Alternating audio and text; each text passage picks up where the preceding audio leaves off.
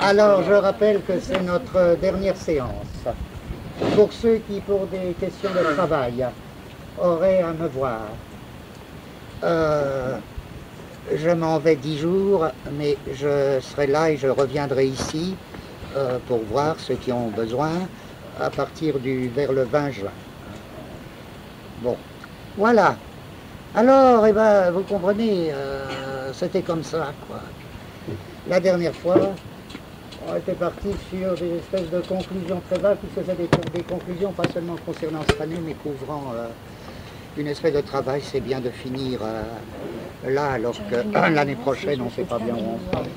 Eh bien, des conclusions en, ou des lignes de recherche concernant le travail qu'on a fait euh, depuis plusieurs années ici.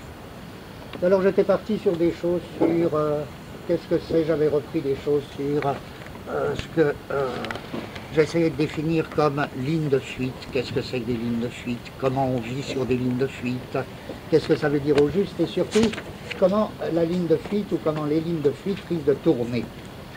Et ont un danger qui leur est propre.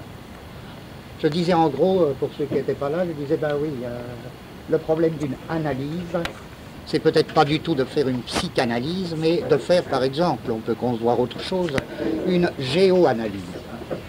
Et une géoanalyse, c'est précisément, ça part d'une idée très suivante, c'est que les, euh, les gens, que ce soit les individus ou les groupes, ils sont composés de lignes. C'est une analyse de linéaments. Euh, tracer les lignes de quelqu'un, à la lettre faire la carte de quelqu'un. Alors là, la question même, est-ce que ça veut dire quelque chose ou pas, euh, évidemment, elle perd tout sens. Une ligne, ça veut rien dire. Hein. Euh, simplement, faire la carte avec les espèces de lignes de quelqu'un, ou d'un groupe, d'un individu, à savoir qu'est-ce que c'est que toutes ces lignes qui se mélangent. En effet, il me semble, on pourrait concevoir les gens comme des mains. chacun de nous, c'est comme une main ou plusieurs mains on a des lignes. Alors ces lignes, elles ne disent pas l'avenir parce qu'elles ne préexistent pas. Mais il y a des lignes, bon, euh, de, toutes sortes de nature. Et entre autres, il y a des lignes qu'on peut appeler de bordure, de pente ou de fuite. Et d'une certaine manière, euh, vivre, c'est vivre sur, en tout cas aussi, c'est vivre sur ces lignes de fuite. Alors c'est ça que j'essayais d'expliquer, mais chaque type de ligne a ses dangers c'est pour ça que c'est bien, c'est pour ça que c'est très bien. On peut jamais dire c'est là que je me sauverai. Le salut ou le désespoir, il vient toujours d'une autre ligne que celle qu'on attendait. On est toujours pris euh, par surprise. Hein. Alors bon, euh, je disais le danger propre à la ligne de fuite, c'est qu'elle frôle des choses tellement étranges que, euh, d'une certaine manière, c'est d'elle qu'il faut qu'on se méfie le plus c'est de celle que nous traçons qu'il faut se méfier le plus, en ce sens que c'est là qu'on frôle les, plus grands dangers. À savoir, les lignes de fuite, elles ont toujours une potentialité, une espèce de puissance, de possibilité de tourner en ligne de destruction, en ligne de désespoir et de destruction. Alors que, j'essayais d'expliquer la dernière fois que pour moi, en tout cas, c'était des lignes de vie. C'était avant tout là. Et sur ces pointes, sur ces pointes de fuite, c'était là que se faisait et se créait la vie. Or, c'est en même temps là que la ligne de fuite risque de tourner, en ligne de mort, en ligne de destruction, tout ça.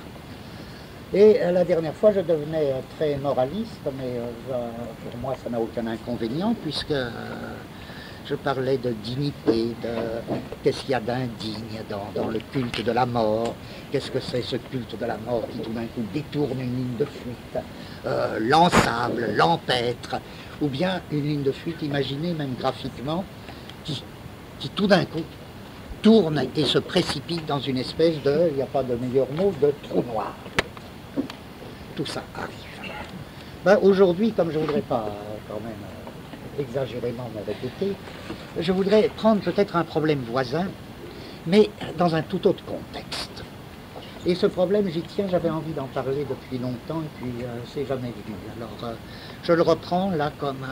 c'est un point qui m'intéresse, et je voudrais que ça ait l'air de partir, que vous vous disiez vous-même, mais quel rapport ça a avec euh, ce que je viens de résumer, Et puis le rapport, on le verrait peut-être petit à petit, donc on oublie tout ça. Et là, je fais presque un résumé de quelque chose, pas pour mon compte. Je voudrais là que ce soit comme un exercice où devant vous, je me risquerais à construire un problème avec précisément des auteurs qui m'apportent des matériaux propres à ce problème. Voilà, je dis premier point, je numérote encore parce que, oh mon voilà. Il ben, distribue sur les tables ce matin. Voilà, voilà. voilà ce que j'appelle hein. l'abjection. Ah C'est l'abjection, ça. Euh, rappelez-vous, hein, même si vous ne vous souvenez de cela, rappelez-vous le mot de Unamuno que je trouve tellement beau lorsque Unamuno, euh, euh, les généraux franquistes entrant et criant Vive la mort, Unamuno répond Je n'ai jamais entendu un cri aussi stupide et répugnant. Alors je ne sais pas si les types qui écrivent ou qui font ce genre de petits machins là euh, pensent être drôles ou faire en de plus, ils servent de toi, c'est vraiment dégueulasse. C'est dégoûtant, c'est sale. C'est pire que, que, que immoral, c'est sale. C'est de la merde. Enfin, voilà. Qu'en faire. C'est vous qui l'avez mis là. Hein. Mais non, c'était ouais, C'est un document. C'est dégoûtant. Ce dont ils se servent, c'est vraiment du violon. Ah bon Ils parce font des moi, j'espère. Bah, si, fait rhizome, ici rhizome, ici Nietzsche. Non, mais c'est... Nietzsche, ça devient vraiment un truc euh, bizarre. Hein. Ah, les hommes du Bon. Alors parlons de choses plus gaies justement, mais ça va être la même. Hein. Ça va être la même. Voilà, moi, il y a un auteur que beaucoup d'entre vous connaissent très bien. Euh, et qui a écrit un petit texte qui répond à la fois à l'ensemble de sa pensée, je crois, et, qui en même temps, ce texte me touche particulièrement, avant même que je demande pourquoi il me touche. C'est Maurice Blanchot. Maurice Blanchot, dans un de ses livres, La part du feu, écrit ceci. C'est un texte à propos de Kafka. Et voilà ce qu'il écrit à propos de Kafka. Écoutez bien, hein, c'est de ça que je voudrais partir juste. Il ne me suffit donc pas d'écrire, il ne me suffit donc pas d'écrire, je suis malheureux. Il ne me suffit donc pas d'écrire, je suis malheureux.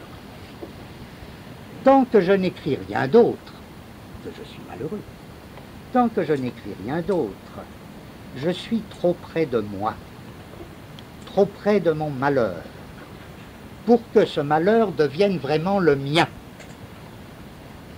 Je voudrais juste que vous laissiez aller, vous ne cherchez pas, vous, retenez les, tonalités de la phrase. Curieux, tant que je dis je suis malheureux, je suis trop près de moi, trop près de mon malheur, trop près de mon malheur. On s'attend à ce qu'il dise, pour que ce malheur ne me soit pas un peu extérieur. Il dit le contraire. Tant que je dis je, je suis trop près de moi, trop près de mon malheur pour que ce malheur devienne vraiment le mien. Une belle phrase. Devienne vraiment le mien, il ajoute sur le mode du langage. Je ne suis pas encore vraiment malheureux. Ce n'est qu'à partir du moment où j'en arrive à cette substitution étrange. Il est malheureux que le langage commence à se constituer en langage malheureux pour moi, à esquisser et à projeter lentement le monde du malheur tel qu'il se réalise en lui. C'est seulement quand je dis il est malheureux que ce malheur devient le mien sur le mode du langage, c'est-à-dire que commence à se constituer le monde auquel appartient ce malheur. Donc ce n'est qu'à partir du moment où j'en arrive à cette substitution étrange, il est malheureux, que le langage commence à se constituer en langage malheureux pour moi, à esquisser, à projeter lentement le monde du malheur tel qu'il se réalise en lui. Alors peut-être, dans cette formule qu'on n'a pas encore compris, il est malheureux, ça. On la prend comme ça, on fait confiance à Blanchot.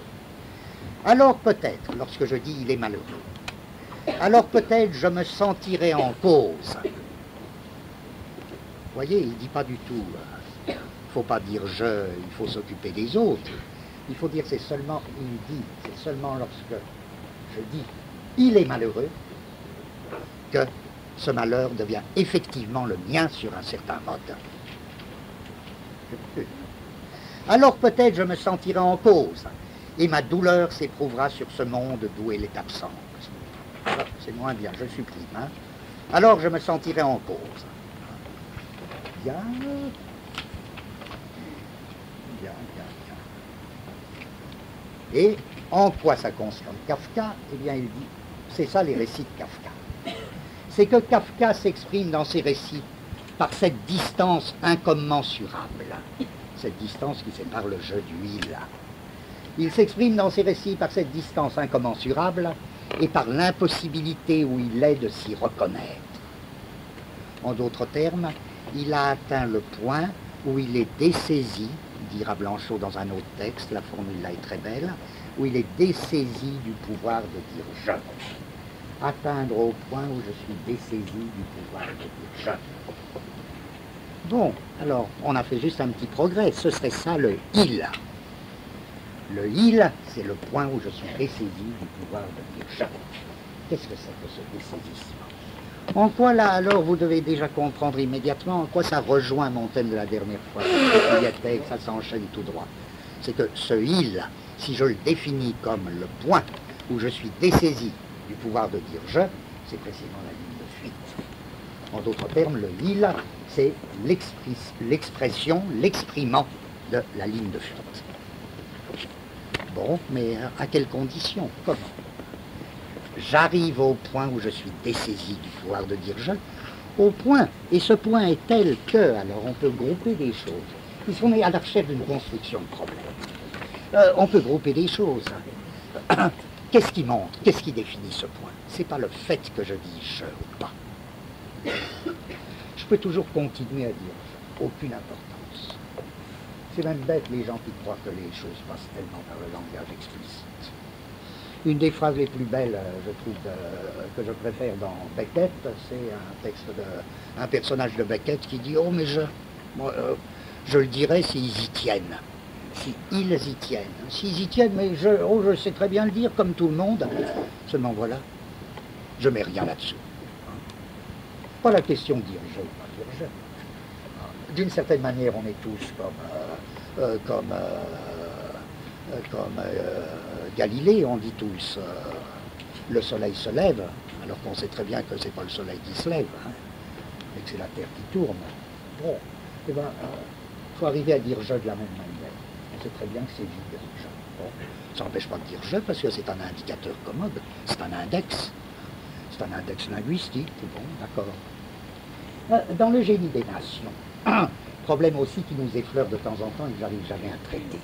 Comment ça se fait que les penseurs de tel, qu'il y ait une certaine, euh, là aussi, géographie de la pensée, Sauf qu'on ne confond pas, par exemple, dans la philosophie et même ailleurs, euh, la philosophie anglaise, la philosophie allemande, la philosophie française, et que je crois que ces catégories très grossières sont relativement fondées.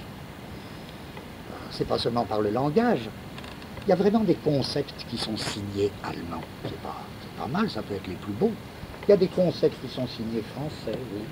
Et là, c'est pas beaucoup, c'est pas notre faute. Il y a des concepts qui sont signés anglais, c'est très curieux. Or, moi, à ma connaissance, j'ai jamais vu un Anglais prendre au sérieux le moi, le problème du moi, à aucun niveau. Curieux, ça. Tous les grands textes des Anglais, il y en a de euh, merveille. Euh, ils tournent tous autour de l'idée suivante. C'est pour ça qu'il y a une espèce de, frontière d'inintelligibilité, de non-communication entre, par exemple, un cartésien et un anglais. Un cartésien, c'est une petite fleur française, hein, ça se voit en France, euh, des cartésiens. Euh, mais alors, qu'est-ce qu'on en a euh,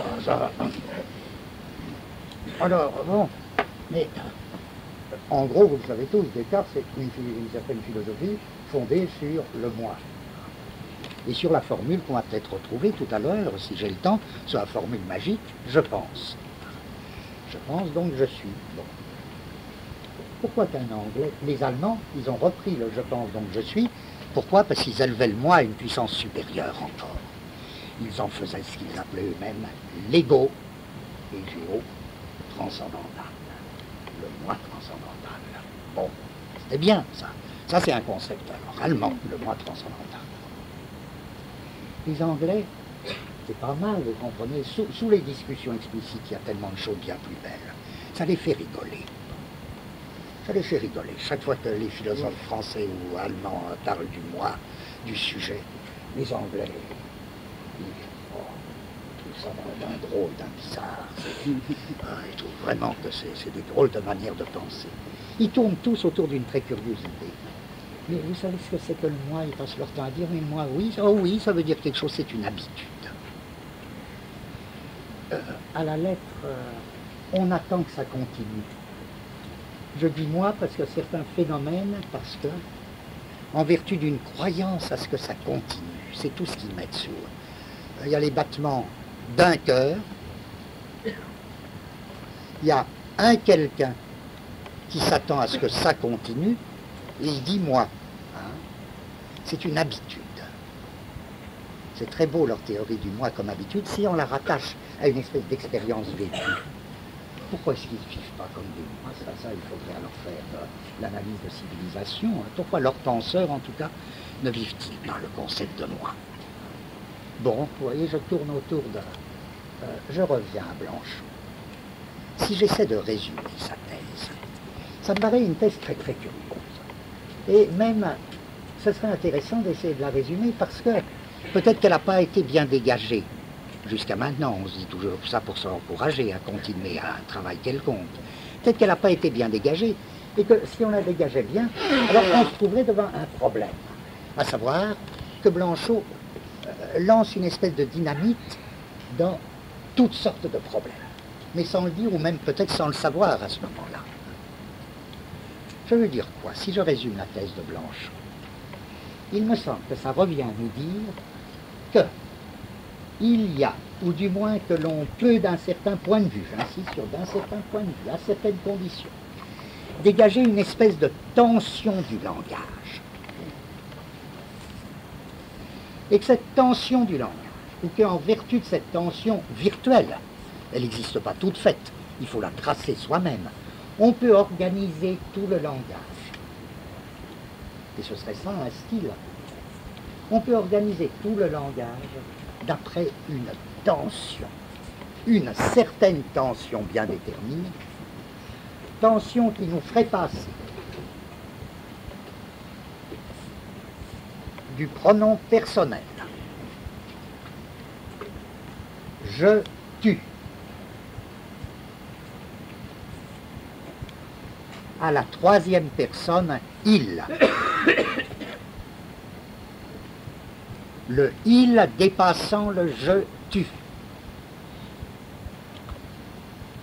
Mais la tension ne s'arrête pas là. Et dans le même mouvement qui nous ferait passer du il troisième personne pronom personnel, pronom dit encore personnel de la troisième personne, qui nous ferait passer du il, pronom de la troisième personne, à un autre il, beaucoup plus mystérieux et secret. Pourquoi? Parce que cet autre il ne désigne même plus une personne dite troisième.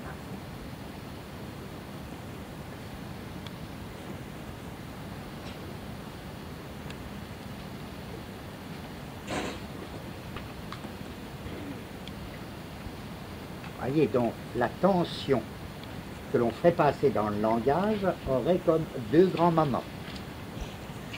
Dépasser les pronoms personnels de la première et deuxième personne vers le il de la troisième personne, et en même temps dépasser le il de la troisième personne vers une forme insolite, c'est-à-dire vers un il qui n'est plus d'aucune personne.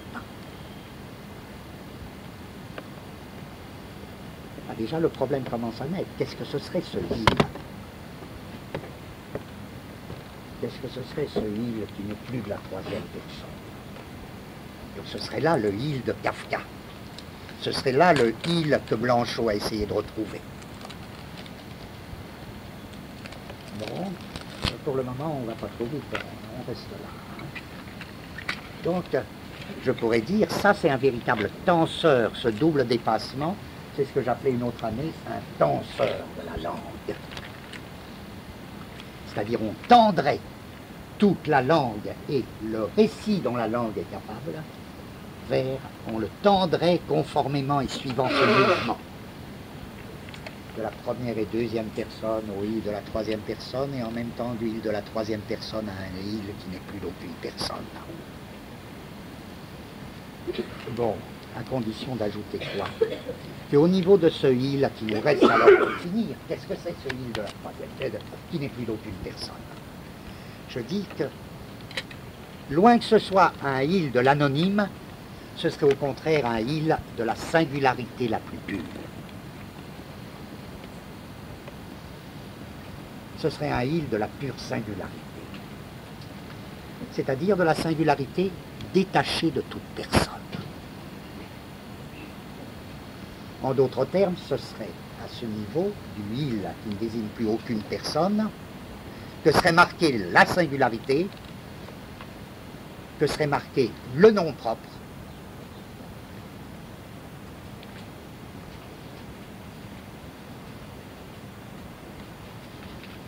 je dis le nom propre. Pourquoi?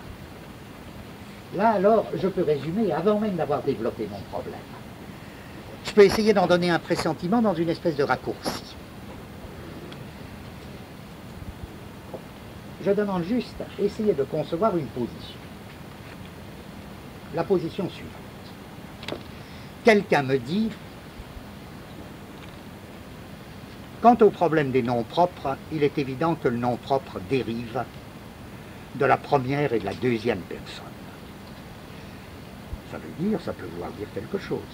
Ça veut dire la première acception du nom propre consisterait en ceci que le nom propre s'applique à quelqu'un qui dit je ou à quelqu'un à qui je dis tu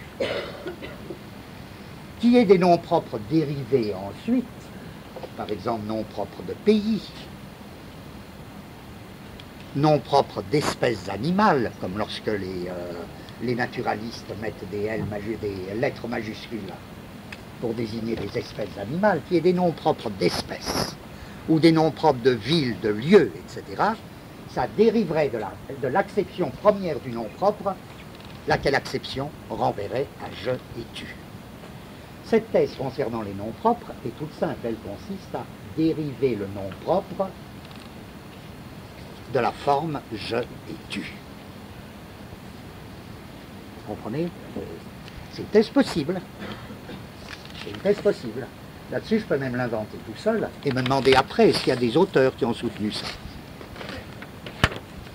Ben, dans ce cas, je pense à personne de précis, mais il y en a plein qui, euh, parfois c'est même implicite chez eux tellement ça. En revanche, je pense, euh, c'est presque un exemple, c'est de cette manière que je souhaiterais vous travailler, pas du tout que je pense euh, être un exemple, je dis ça uniquement pour ceux à qui ce genre de méthode convient. Tout d'un coup, à peine je viens de dire ça, que euh, j'ai un vague souvenir. Alors là, ce que je viens de dire, ce n'était pas du tout érudit. Hein. Il y a des gens qui dérivent le nom propre de je Mais quand j'ai dit ça, qui n'implique aucun savoir spécial, il y a un souvenir qui vient, qui lui vient d'un savoir au hasard, comme on en a tous. Je me dis tout d'un coup, il y a un curieux texte chez un auteur que je ne sais pas, qu'on ne lit plus, mais raison de plus, je vous l'indique, parce qu'il il est très curieux cet auteur. Et il a une drôle d'histoire. C'est un psychiatre. C'était le fils d'un exécrable historien de la philosophie du 19e siècle. Et lui, il est mort il n'y a pas très longtemps. Je crois qu'il est mort euh, pendant la guerre ou juste après la guerre. Il s'appelait Pierre Janet. Pierre Janet. Alors, euh, à un moment, il a été très très connu, très connu. Il était euh, contemporain à peu près, ses œuvres, il, suit un parcours très parallèle à celui de Freud. Et ni l'un ni l'autre n'a compris. C'est très curieux. Euh, on a essayé de les mettre en contact, ça n'a pas du tout marché entre Freud et Janet. leur point de départ était commun, c'était l'hystérie. Janet a apporté une conception de l'hystérie très très importante. Et puis, il faisait toute une psychologie assez curieuse qu'il proposait d'appeler psychologie de la conduite, avant même que les Américains aient lancé la psychologie du comportement. Et c'était une psychologie très intéressante, il me semble. En gros, la méthode était une détermination psychologique étant donnée, chercher quel type de conduite elle représente. Et c'était très riche parce que ça donnait des choses comme ceci. J'en reste à des choses, c'est pour vous donner envie d'aller voir des trucs de jamais. Euh, c'était très intéressant parce que quand même il disait la mémoire. C'était presque une méthode scolaire très bonne cette psychologie de la conduite. La mémoire, il disait. Bon, ça m'intéresse pas. La mémoire, ça ne veut rien dire pour moi. Je me demande quel est le type de conduite qu'on peut tenir quand on se souvient. Et sa réponse était le récit. D'où une définition célèbre de Janet, la mémoire, c'est une conduite de récit. L'émotion. Il disait, l'émotion, on ne peut pas sentir. Et si on ne fixe pas, voyez, il se servait de la conduite comme d'un système de coordonnées pour toute chose. Tout était conduite. Alors c'était une notion en même temps très différente du comportement américain, des Américains. Mais euh, il y avait confrontation. Euh, l'émotion. Il disait, si on ne dit pas quel type, à quel type de conduite ça renvoie, il disait, ben voilà, alors j'interromps jamais parce que moi j'ai un souvenir d'enfance qui m'a marqué pour euh, toujours, mais on a tous des souvenirs d'enfance comme ça. C'est lorsque, pendant les vacances, mon père me donnait des leçons de mathématiques. C'était la panique pour moi. Et c'était réglé, c'est-à-dire là, euh, à la limite, je soupçonne qu'on y allait tous les deux résignés, quoi.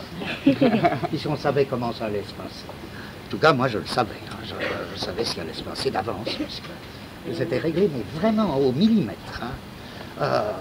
Euh, mon père, et, euh, il ne savait pas beaucoup de mathématiques d'ailleurs, mais il pensait avant tout qu'il avait un don d'énoncer clair. Alors, il commençait il tenait la conduite pédagogique. Et la conduite pédagogique. Moi, j'y mettais alors la bonne volonté, surtout il ne s'agissait pas du tout de rigoler. Je tenais la conduite, euh, la conduite de l'enseigner, conduite de l'enseigner. Je montrais tous les signes du plus vif intérêt, d'une compréhension maximum, euh, euh, même tout ça très discret, parce qu'il ne fallait pas, enfin, parfaite. Puis il y avait très vite un déraillement. Ce déraillement consistait en ceci qu'au bout de cinq minutes, mon père se retrouvait hurlant, euh, prêt à me taper. Et, euh, et, moi, je me retrouvais en larmes. Il faut dire, j'étais tout petit. Hein. je me retrouvais en larmes. Qu'est-ce qu'il y avait? On voit bien. Il y avait deux émotions. Mon chagrin profond, sa colère profonde. Elle répondait à quoi? Deux ratés. Il avait raté dans sa conduite de pédagogue. Il n'arrivait absolument pas à expliquer. Évidemment, il voulait m'expliquer avec l'algèbre, comme il disait toujours, parce que c'était plus simple et plus clair. Alors, si moi je protestais, c'est par là que ça déraillait, vous comprenez Moi je protestais en disant que la maîtresse, elle ne me laisserait jamais faire de l'algèbre, parce que quand on donne un problème à un gosse de 6 ans, ben, il n'a pas le droit, il n'est pas censé faire de l'algèbre. Alors l'autre, il, maintenait que c'était comme ça que c'était clair. Bon, donc on perdait les pédales tous les deux. Raté dans la conduite pédagogique, colère. Raté dans la conduite d'enseigner, larmes. Très bien, c'est un échec, euh, j'analysais. L'émotion, c'est tout simple, c'est un échec de la conduite. Vous êtes ému quand il y a. Quand vous tenez une conduite et qu'il y a échec de cette conduite. Alors là, il y a l'émotion. Mais alors, euh, un des meilleurs livres de, euh, euh, Janet, il a écrit une masse de livres, parfois pas bons, mais un des meilleurs livres, un des livres les plus curieux, il me semble les plus insolites de Janet, c'est un gros livre qui sont des cours qu'il avait fait et qui s'appelle De l'angoisse à l'extase. C'est un titre. Si euh, vous voyez ce livre, si vous avez du temps un jour dans la bibliothèque, euh, feuilleté de l'angoisse à l'extase, qui me semble toujours un très beau livre.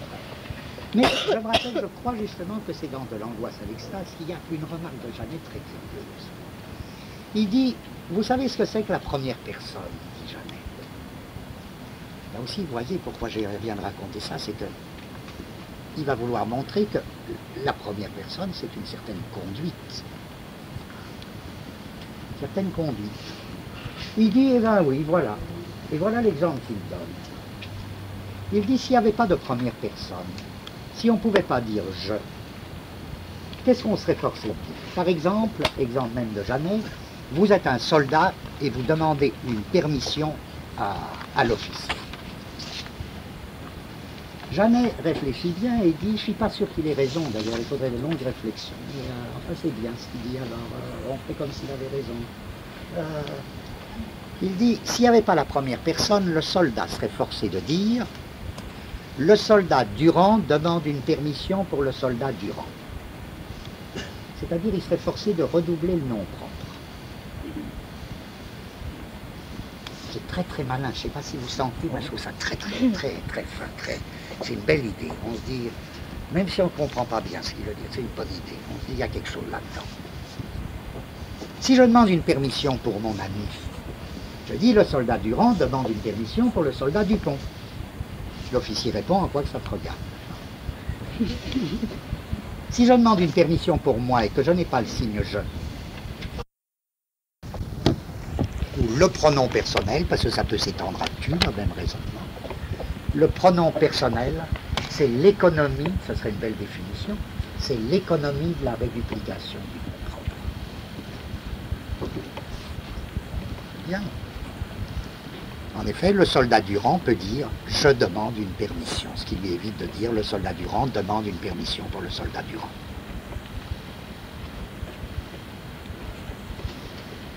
Pourquoi je vous raconte ça? Parce que, j'espère que vous y êtes sensible, c'est juste le contraire de la thèse à laquelle je viens de faire allusion. La thèse à laquelle je viens de faire allusion, c'était une thèse qui paraissait toute simple, le nom propre dérive du pronom personnel, première et deuxième personne. Les choses sont tellement compliquées quand on construit un problème que nous voyons au moins la possibilité du chemin inverse. La possibilité qu'après tout, ce soit juste le contraire. La possibilité qu'après tout, ce soit le pronom personnel de la première et la deuxième personne qui dérive du nom propre. Et vous comprenez dans quelle situation on se flanque alors Car s'il est vrai que c'est la première et la deuxième personne qui dérivent du nom propre selon l'hypothèse de Jamais,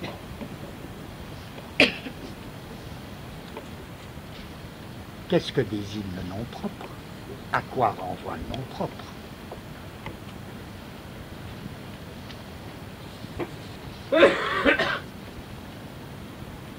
Donc à ce niveau, on retrouve le même problème.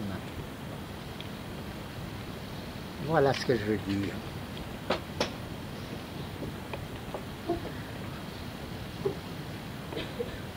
Je prends encore, avant de faire mon regroupement, qui va nous donner le problème autour duquel nous tournons, avant de faire euh, notre regroupement, j'expose un autre cas qui est relativement important en linguistique.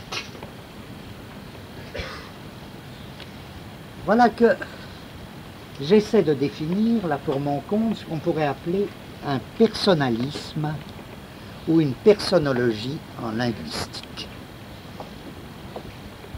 Une fois dit qu'à mon avis, il y a un grand linguiste moderne, actuel, qui a fait en linguistique une véritable personnologie c'est benveniste. C'est benveniste. Et en effet, benveniste attache une importance particulière au pronom personnel dans le langage et même affirme que c'est commun à toute langue. Attache une importance particulière au pronom personnel de la première et de la seconde personne.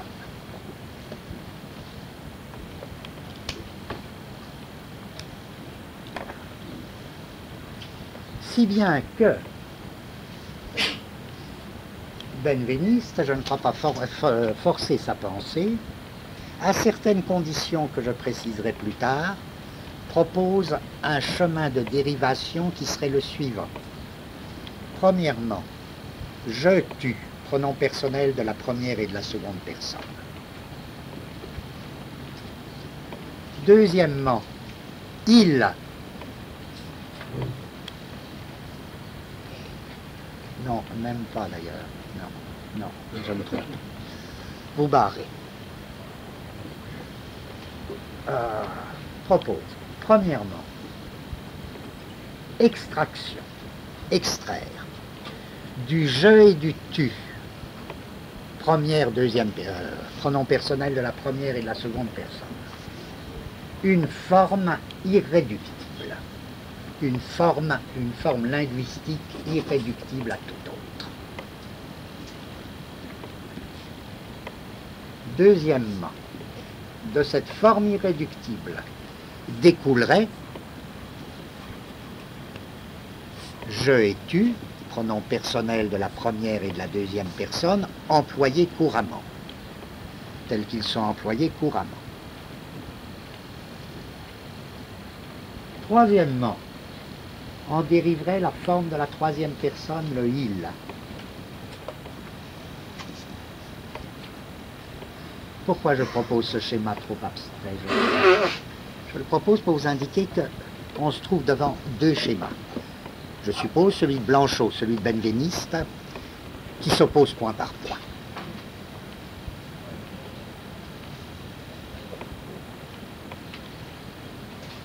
Ça s'oppose point par point au sens suivant. Blanchot part de je tu les dépasse vers il, dépasse le il vers un il irréductible. Benveniste part des pronoms personnels en général. En détache je et tu. Enfin, détache du je une forme irréductible. En d'autres termes, dans un cas, Blanchot, il y a ce que je voudrais appeler le langage, un traitement du langage, qui est soumis à une tension, je dirais presque une tension, pour employer un terme de physique, une tension superficielle, une tension de surface, une tension superficielle qui l'entraîne toujours à sa périphérie et qui tend vers ce il mystérieux, ce il qui ne désigne plus aucune personne. C'est une tension superficielle et périphérique qui entraîne toute la langue, tout le langage, vers ce il qui ne désigne plus aucune personne. Chez Benveniste, il y a juste le contraire. Il y a un centrage et une concentration profonde qui entraîne tout le langage vers les pronoms personnels et l'extraction d'un jeu encore plus profond que les pronoms personnels. Là, c'est une espèce de concentration interne, de centrage intérieur. C'est là la différence qu'il fait entre une linguistique de la langue, les deux éléments c'est généraux, et une linguistique de la parole. C'est ça, complètement. Puisque ça l'entraîne à remettre en question la distinction langue-parole complètement. Et, c'est ce que lui, c'est pour ça que Benveniste a besoin de ce qu'il appelle le discours. Le discours étant précisément pour Benveniste une catégorie euh, qui déborde la dualité, la dualité saussurienne, langue-parole. Alors, c'est de ça que je voudrais un peu partir. Et repartir comme à zéro pour que vous compreniez de quoi il s'agit, parce que notre problème, ça va être exactement ceci. On ne choisit pas, hein. on ne choisit pas, là on essaie de se débrouiller dans, dans ces deux mouvements possibles. Ces deux on vient de dégager deux mouvements virtuels, ils n'existent pas tout faits. Ce serait vraiment là comme deux usages de la langue. Un usage qui se concentre, qui, qui tend vers cet approfondissement du pronom personnel. Et ce langage, au contraire, toujours extérieur à lui-même, qui déborde les pronoms personnels vers un impersonnel, vers un il qui n'est plus d'aucune personne. Alors, il n'y a, pas à dire euh, l'un a raison, l'autre a tort, qu'est-ce que ça peut faire? Il y a à voir euh, qu'est-ce qu'ils veulent dire d'abord, il y a à essayer de, nous, de, trouver ce qui nous convient, nous. Mais ce qui nous convient en quel sens quelque chose a à nous convenir, Ça dépend aussi beaucoup de ce que chacun de nous entend par je lorsqu'il dit je, moi je. Eh bien, je fais semblant de reprendre à zéro. Et je dis, bon, qu'est-ce que ça veut dire je linguistiquement? Qu'est-ce que c'est ça, je? Vous savez que là, les linguistes, en général, ont toujours dit, ont souvent, euh, et l'ont très bien montré, que c'est quand même un signe linguistique très très bizarre, très particulier. Que bien plus, il y a un certain nombre de signes linguistiques qui sont dans ce cas. Il y en a peut-être un qui est plus profond que les autres. Il cite dans ce cas comme étant très particulier le pronom personnel de la première et de la deuxième personne, je et tu. Il cite aussi le nom propre. Il cite aussi des coordonnées du type ici, maintenant. Peut-être aussi ceci, cela. Et enfin, il cite les noms propres. Ça fait une catégorie qui paraît très, très, euh, très composite. Hein pronoms personnels de la première et seconde personne, les noms propres, euh, des adverbes du type ici maintenant, euh, ceci, cela, des pronoms démonstratifs, bien. Qu'est-ce qu'il y a de commun entre toutes ces notions Tout ce qui revient au même, essayons d'analyser le signe je. Vous savez que pour l'ensemble de ces notions, les linguistes ont inventé une catégorie intéressante d'après un mot anglais, shifter, que euh, Jacobson proposait de traduire par embrayeur en français. Ils disent ce sont des signes linguistiques très particuliers parce que ce sont des embrayeurs. Qu'est-ce que c'est un embrayeur?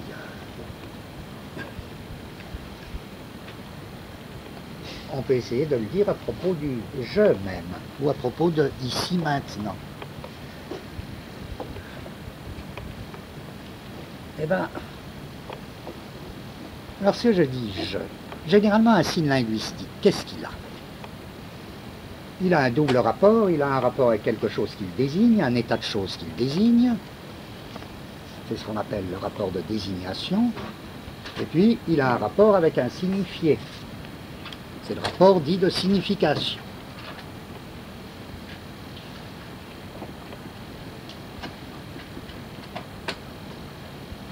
Si je dis homme, voilà un signe linguistique courant, hein, simple, là c'est pas un embrayeur, je dis homme, je peux assigner le rapport de désignation, je peux dire que homme désigne celui-ci, celui-là, celui-là, celui-là. Et je peux assigner le rapport de signification. C'est animal raisonnable.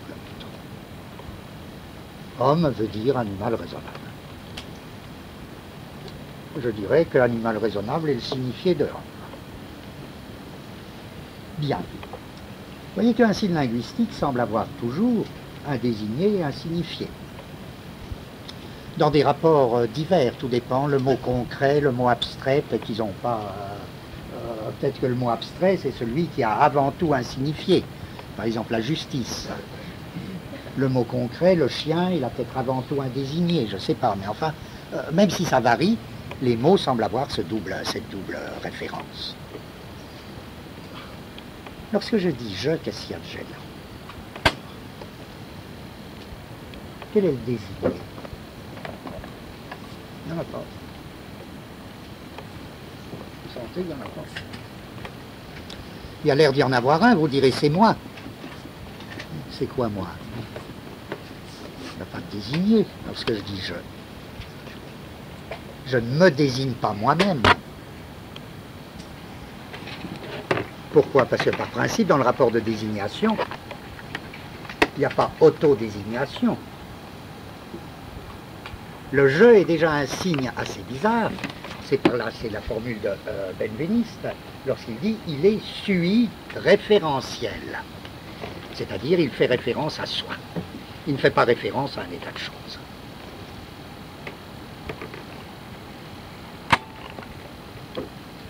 Autre terme, alors que les autres signes semblent bien avoir un désigné qui se définit par son existence indépendante du signe, le je n'a pas de désigné qui possède une existence indépendante du signe. D'autre part, le je a-t-il une signification? Réponse, non. À la lettre, le je ne signifie rien. Je ne signifie rien en quel sens? Là, je l'avais dit à propos d'autre chose, il y a une très bonne formule de Russell. Lorsque Russell dit, eh ben, lorsque je dis euh, chien, le mot chien, c'est un signe linguistique courant, le mot chien, il a pour signification quelque chose que je peux désigner secondairement sous le nom de la canéité. Puisque le je, qu'est-ce qu'il y a de commun entre tous ceux qui disent je On pourrait dire aussi bien, le je, bizarrement, n'est pas du tout un concept collectif. C'est un concept uniquement distributif. Remarquez que c'est la même chose pour ici et maintenant. Et ça se complique. Qu'est-ce que c'est alors ce type de concepts qui sont exclusivement distributifs? En d'autres termes, le je renvoie à celui qui dit. C'est bizarre ça comme euh, état de signe linguistique. Un signe qui ne désigne que celui qu'il prononce et qui n'a aucune signification collective, qui n'a de signification que distributive, en tant qu'il est effectué par celui qui parle, par celui qui dit. Et je, celui qui dit je.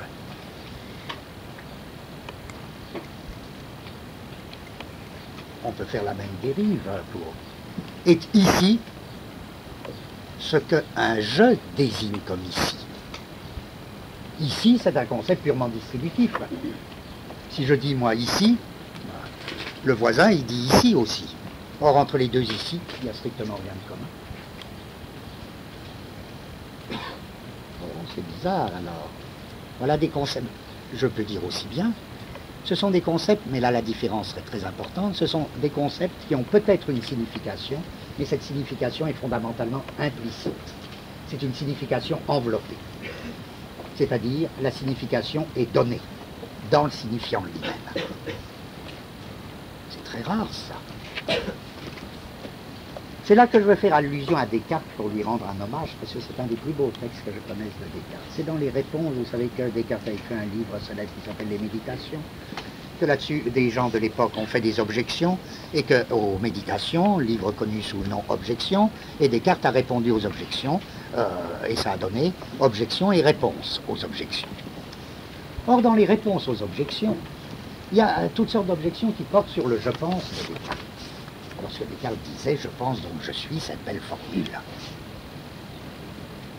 Et il y a beaucoup de gens qui lui disent oh non, je pense donc je suis, mais qu'est-ce que ça veut dire tout ça?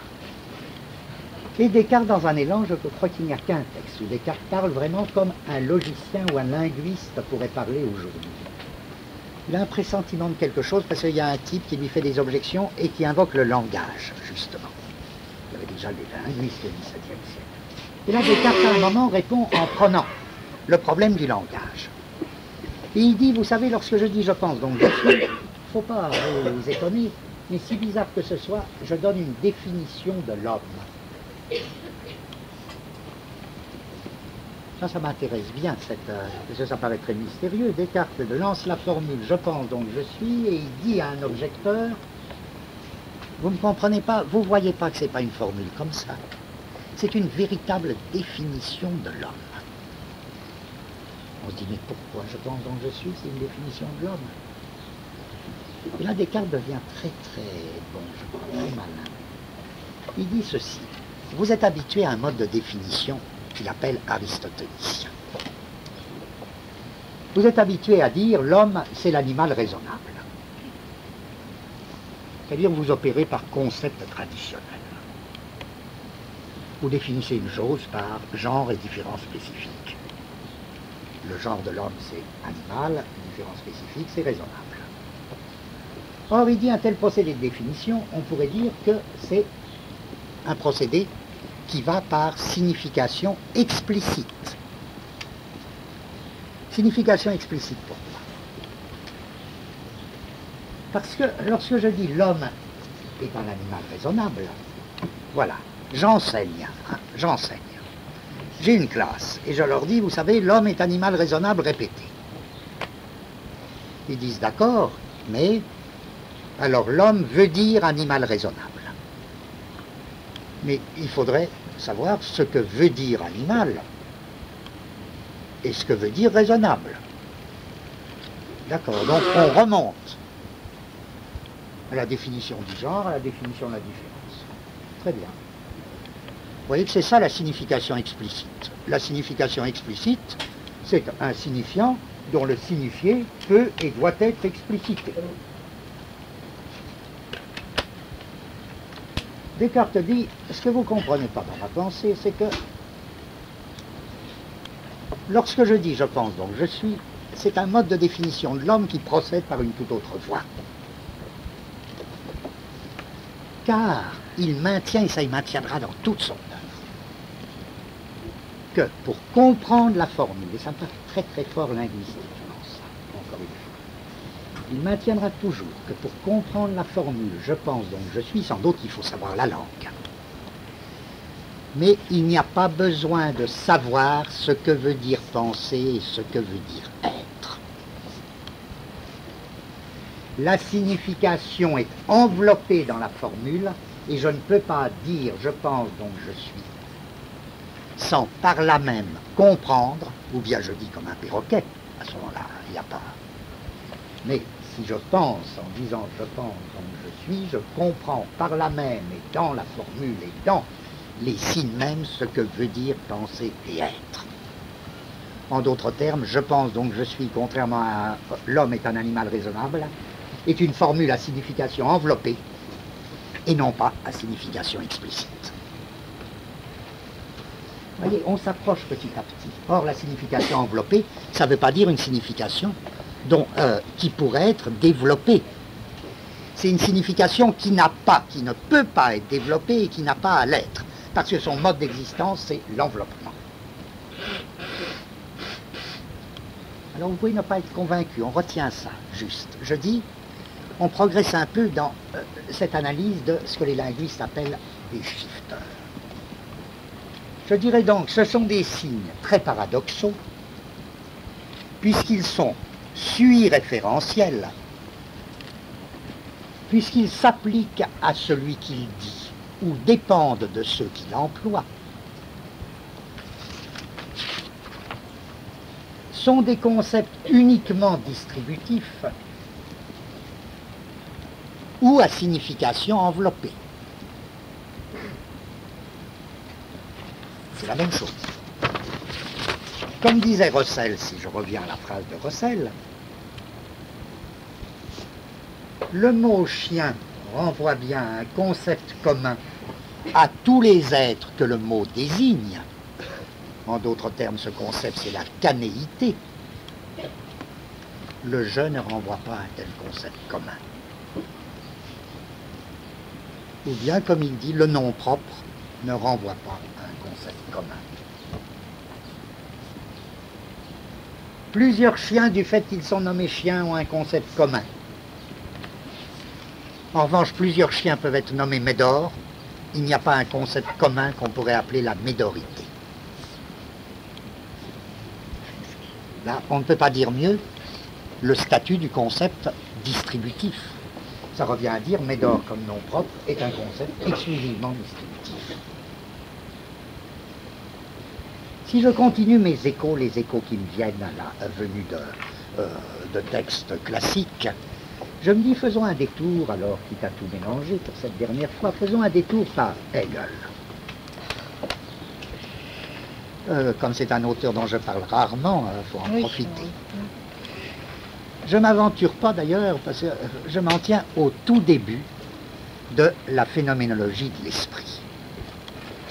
Et au tout début de la phénoménologie de l'esprit, euh, il est évident à tout lecteur que Hegel fait un tour de passe-passe, un tour de saltimbanque, qu'il appellera effrontément dialectique. Car qu'est-ce qu'il nous dit Pour montrer que les choses sont prises dans un mouvement, dans un mouvement ininterrompu qui est le propre de la dialectique, pour montrer que les choses sont soumises à une espèce de mouvement de l'autodépassement. Qu'est-ce qu'il va faire? A-t-on jamais été plus sombre Il nous dit ceci. Il nous dit partons de ce qui est le, plus sûr. Euh, imaginez, on fait un dialogue des morts. Euh, pensons que Hegel explique ça justement à des philosophes anglais. Vous allez deviner vous-même quand est-ce que les Anglais vont commencer à rire. Hegel dit avec sa gravité, euh, euh, je retire tout ce que je viens de dire euh, sur Hegel, et c'est évident que c'est un immense génie. mais enfin, oh, oh, oh, suivez-moi bien. Il nous raconte une histoire qui paraît très belle, très convaincante. Il dit, voilà, il y a la certitude sensible, la conscience empêtrée, c'est le départ de la phénoménologie de l'esprit. La conscience enlisée dans la certitude sensible. Et euh, elle dit, le sensible, c'est le dernier mot des choses. Là, les philosophes anglais peuvent se dire, il est déjà en train de nous trahir, euh, cet Allemand. Il est déjà en train de nous trahir. Mais euh, à la limite, il dirait oui, peut-être que nous, on peut dire ça, on a dit ça, oui, la certitude sensible, est première et dernière. C'est en effet un, thème qui parcourt ce qu'on appelle l'empirisme. Et comme chacun sait, l'empirisme est anglais. Bon, alors, voilà. la conscience prise dans la certitude sensible. Elle épouse la particularité, la singularité. Et Hegel, splendide, analyse la singularité et va montrer que c'est une position intenable parce que on ne peut pas faire un pas sans précisément dépasser ce stade de la certitude sensible. Et pour le montrer, il dit voilà, la conscience sensible est comme déchirée, ça va être ce déchirement qui va être le premier stade de la dialectique de la phénoménologie de l'esprit. Elle est comme déchirée car elle croit saisir le plus particulier et en même temps elle ne saisit que l'universel abstrait. Pourquoi elle croit saisir le plus particulier? Elle croit viser le plus particulier dans le sensible et elle l'exprime en disant ceci, ici et maintenant. Mais comme dit Hegel, qui à ce moment-là devient presque, presque rigueur, alors qu'il n'en a pas l'habitude, ici et maintenant c'est l'universel vide, puisque c'est de tout moment de l'espace, de tout lieu, de tout lieu de l'espace euh, que je dis ici, et c'est de tout moment du temps que je peux dire maintenant. Au moment même où je crois saisir le plus singulier, je ne saisis que la généralité vide et abstraite. Si bien que vous voyez, la, conscience sensible prise dans cette contradiction est expulsée du sensible et doit passer à un autre stade de la dialectique. Mais avant qu'elle soit passée à cet autre stade de la dialectique, justement, les Anglais que j'invoquais se marrent. Pourquoi ils se marrent? Parce que Hegel, enfin, euh, semble avoir perdu la tête, mais il faut bien que la dialectique marche. Il flanque un coup de pouce formidable, puisqu'il fait comme si les concepts de ceci, cela, ici, maintenant, étaient des concepts communs c'est-à-dire des concepts communs renvoyant à des états de choses et ayant une signification explicite. Il traite le concept d'ici maintenant exactement comme le concept de chien. Si bien qu'un défenseur de la certitude sensible n'aurait pas de peine à dire, mais euh, si on n'avait pas d'autre raison de lire la phénoménologie, de dire, oh ben, je peux faire des livres, ça s'arrête là, puisque il n'y a aucune raison d'aller plus loin, comme dit Hegel. Hegel pense que la certitude sensible se dépasse elle-même parce que simplement il a fait un tour de passe-passe, à savoir, au lieu de s'apercevoir que, ici maintenant, le nom propre, etc., était à la lettre des embrayeurs, il est traduit comme des concepts communs. À ce moment-là, en effet, il y a contradiction. Il y a contradiction entre la visée de ici et maintenant, qui prétend au plus singulier, et la forme de ici maintenant traduite dans le plus pur universel. Vous voyez que ce n'est pas ça en fait. Si l'on fait une catégorie spéciale de concepts distributifs, en disant c'est pas du tout que ici maintenant ou que les noms propres ou que je ne soient pas des concepts, c'est des concepts très spéciaux. C'est des concepts distributifs.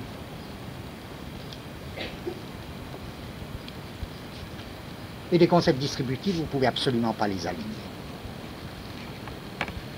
sur euh, les concepts communs. C'est des concepts d'un type particulier. Alors, c'est des concepts d'un type particulier. Je viens juste d'essayer en prenant la notion d'embrayeur ou shifter. Je voudrais juste qu'elle soit relativement claire. En effet, c'est très curieux. Lorsque je dis je, eh bien, ceci ne renvoie qu'à celui qui, c'est-à-dire à moi seulement. Les autres aussi disent je. Il n'y a aucune, communauté du point de vue du concept. Bien. Eh bien, vous comprenez. Est-ce que c'est vrai de toute forme de je vous allez voir pourquoi je dis ça. On touche presque au euh, bout de, ce qui est le plus difficile dans ce que j'avais à dire. Oh, est-ce que c'est vrai? Est-ce que c'est vrai pour toute forme de jeu? Est-ce qu'il ne faut pas encore nuancer Aussi, il faut sûrement encore nuancer. Parce que euh, c'est vrai, pourtant c'est vrai à un certain stade. Si je dis je me promène, c'est pas un jeu. Mais en même temps, est-ce qu'il n'y a pas une grande différence entre je dans certains usages et je dans d'autres usages, ou je dans certaines formules et je dans d'autres formules?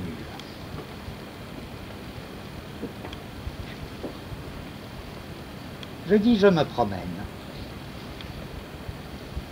Je prends exprès deux exemples très lointains.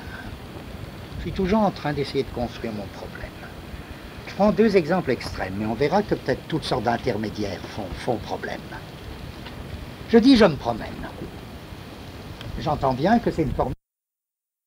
À savoir, c'est un jeu qui vaut pour un il. C'est un jeu aligné sur le il. Pourquoi? Ben, Je peux très bien, par exemple, dire je me promène et ne pas me promener.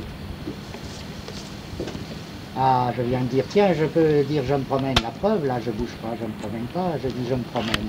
Je peux donc dire je me promène sans me promener. Ça revient à dire que dans ce cas, le jeu un rapport de désignation avec un état de choses qui lui est extérieur, qui peut donc être effectué ou pas effectué. Je dirais à ce moment-là, c'est un emploi du mot je, d'accord. Le mot je est un mot spécial, un signe spécial, mais il peut avoir un emploi commun.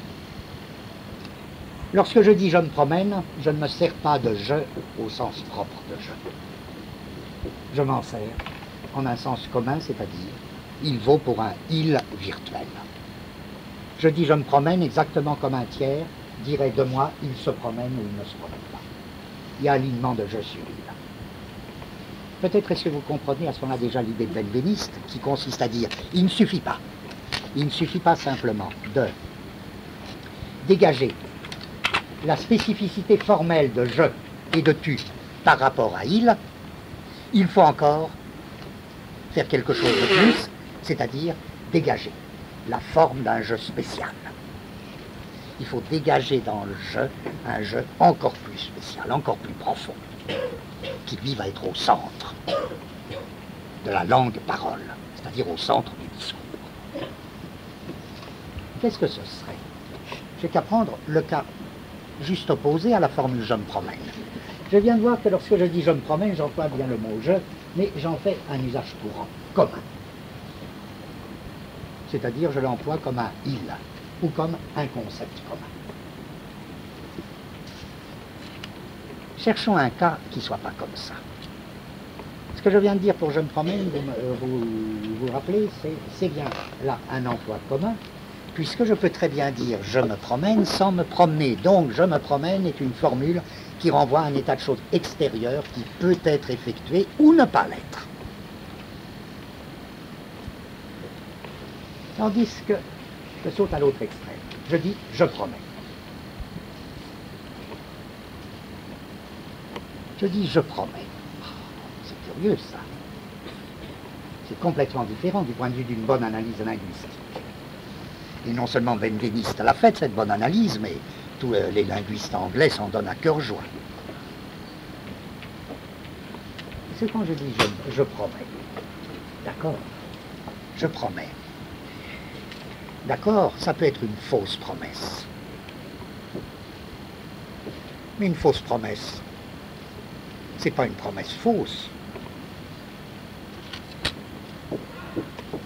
Je veux dire, fausse promesse, c'est pas une promesse fausse. Ça veut dire quoi? Ça veut dire que lorsque je promets, lorsque je dis je promets, eh ben, il se trouve que, que je le veuille ou non, que j'ai l'intention de la tenir ou de ne pas la tenir, je fais quelque chose en le disant. À savoir, je promets effectivement. C'est enveloppé dans la formule. Je dirais, une telle formule ne désigne rien qui lui soit extérieur, ou je dirais aussi bien, sa signification est enveloppée. Et la différence, là je voudrais que vous m'accordiez cette différence fondamentale entre les deux formules, le je de je me promène et le je de je promets. En disant je promets, je promets. En disant je me promène, je ne me promène pas pour ça. Or, si l'on se demande pourquoi ces deux cas différents, l'analyse linguistique vous rend compte parfaitement. C'est que dans un cas, comme dit un anglais, un linguiste anglais, je fais quelque chose en le disant. C'est quelque chose. Il y a des choses que je fais en le disant.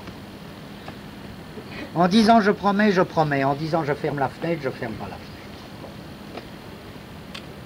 En d'autres termes, on dira en sens qu'il y a des actes de langage, qu'il y a des actes propres au langage D'où le concept très curieux que les linguistes anglais ont construit de speech act.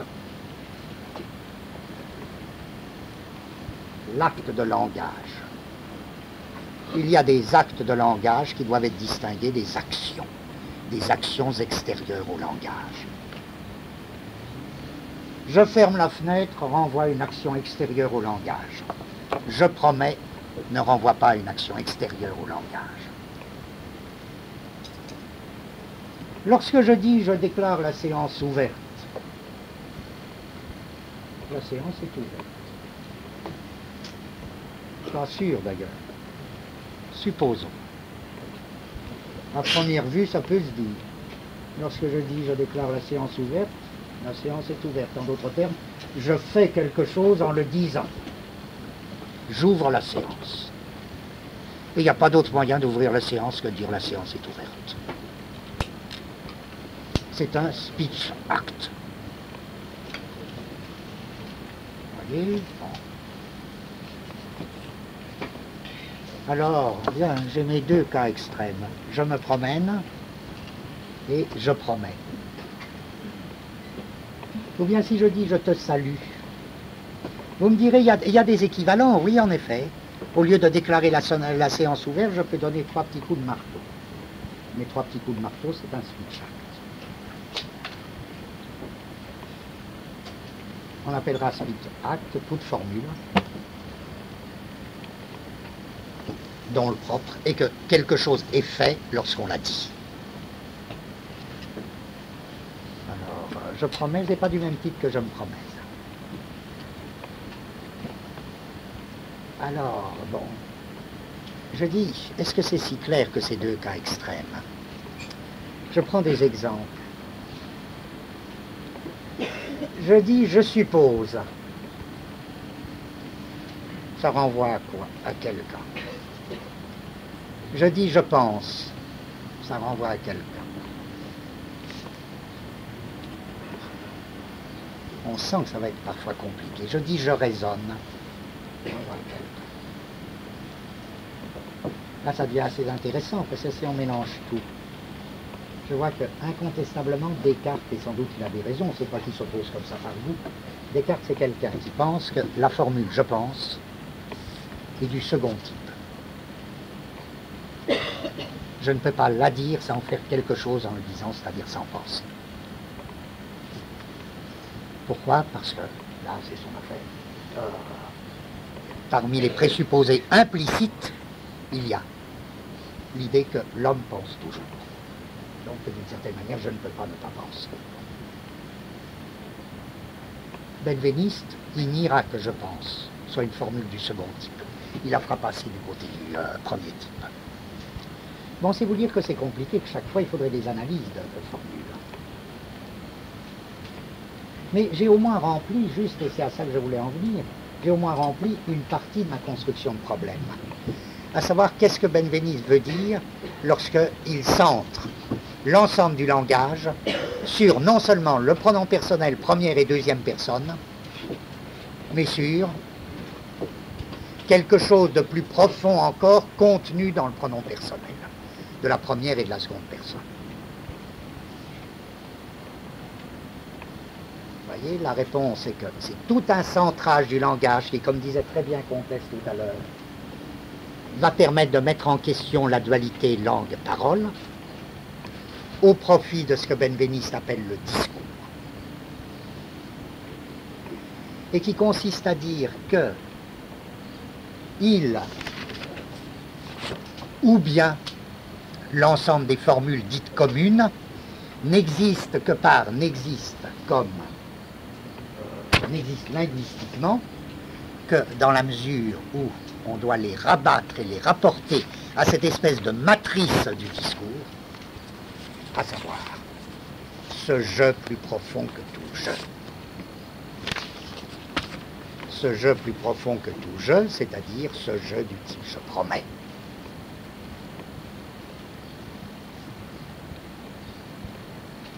L'embrayeur ou le shifter.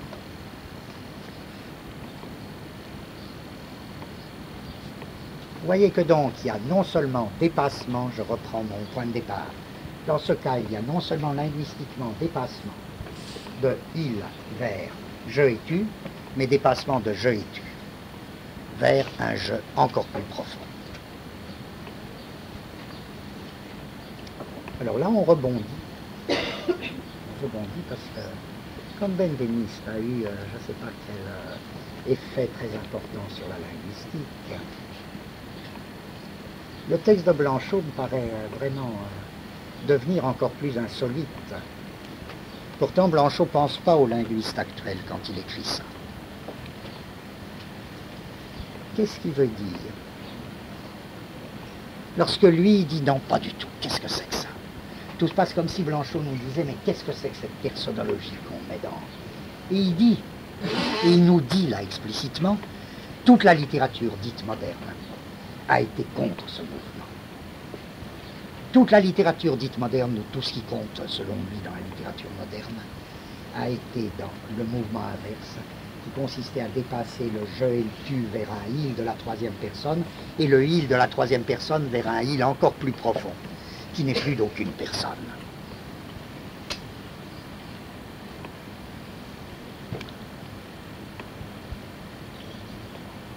C'est là qu'il me semble Blanchot a quelque chose à nous apprendre, même non seulement littérairement, mais linguistiquement.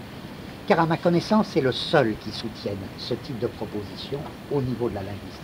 C'est-à-dire c'est dans Blanchot qu'il y avait les éléments d'une critique de la théorie des embrayeurs, d'une critique de la théorie linguistique des embrayeurs.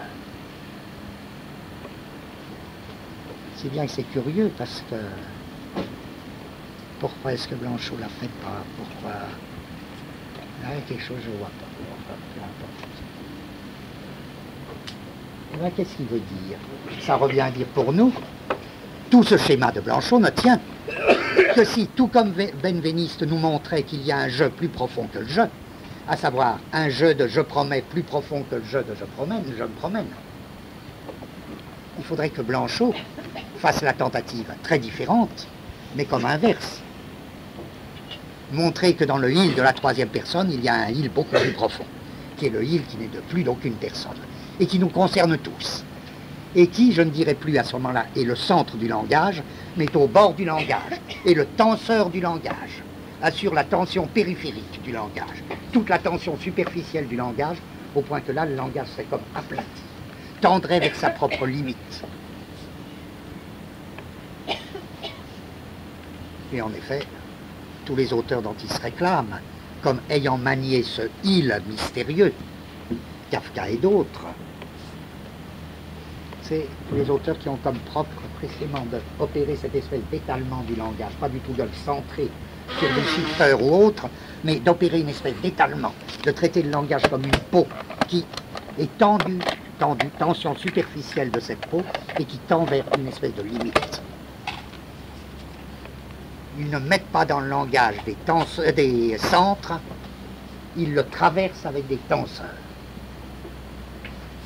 Alors bien, euh, qu'est-ce que ce serait? Il faut encore... Euh, et puis, euh, qu'est-ce que ce serait ce il C'est pas difficile, vous devez déjà avoir deviné quel il c'était.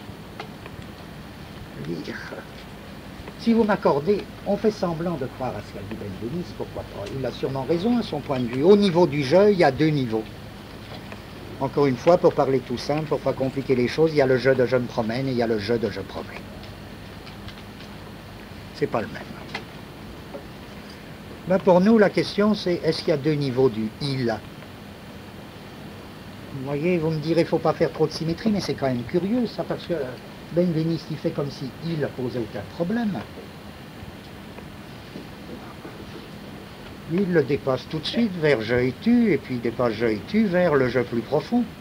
Mais il n'y a pas d'analyse de il chez lui. Il traite il comme un concept commun, comme le mot chien, comme euh, tout ça. Or, est-ce qu'il n'y a pas aussi deux il? Il, ça peut être la troisième personne. Oui, d'accord, ça peut être la troisième personne. Il dit, il arrive, il arrive, ça peut être quoi d'autre? Là, je parle pas au nom de Blanchot, je cherche à dire les choses vraiment les plus simples. On va voir si Blanchot se raccroche à ça. Ben, il y a un autre il qui est dit cette fois-ci non seulement la troisième personne, mais qui est le il impersonnel. Il pleut. Il pleut. Pourquoi que ça ne mériterait pas une analyse linguistique autant que le je La différence entre ces deux îles quand je dis il arrive, mais quand je dis il pleut, il y a aussi là deux formules qui sont tendues à l'extrême. Il pleut.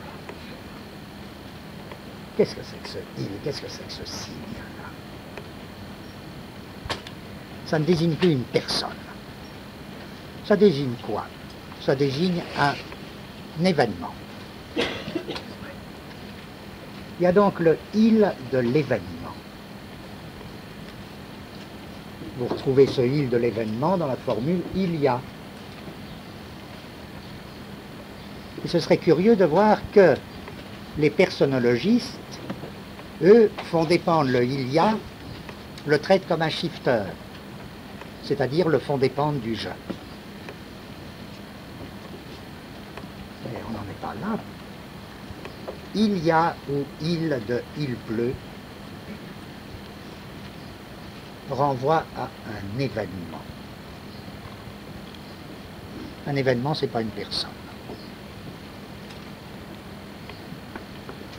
Pourtant, est-ce que c'est l'anonyme Si vous vous rappelez ce que je disais tout à l'heure, là on retrouve en plein le problème? Non, c'est pas l'anonyme. C'est pas de l'universel. Un événement, c'est au contraire extraordinairement singulier et c'est individué. Mais voilà, il faut dire que l'individuation de l'événement, ce n'est pas du même type que l'individuation de la personne. Là aussi, ça fait un sacré problème, parce que le problème, il est en train de rebondir. À fur et à mesure qu'on le construit, on se dit, à chaque instant, on se dit, on ne va plus le dominer tellement il éclate dans des directions diverses. Si bien que je fais à nouveau une parenthèse, mais je pense qu'on est en train de le tenir, malgré toutes les parenthèses que je fais. Parce que les parenthèses, elles font partie de la construction du problème. Elles feront plus partie du problème. Vous pourrez les laisser tomber après. Mais pour se débrouiller dans le problème, il faut toutes sortes de détours. Alors, en effet, euh, il y, a beaucoup d'auteurs, même je crois euh, le maximum d'auteurs. Le problème de l'individuation serait un autre problème, mais on l'a traité un, an, une année, j'y ai passé alors des mois euh, là-dessus. J'étais content parce que ça m'intéressait bien.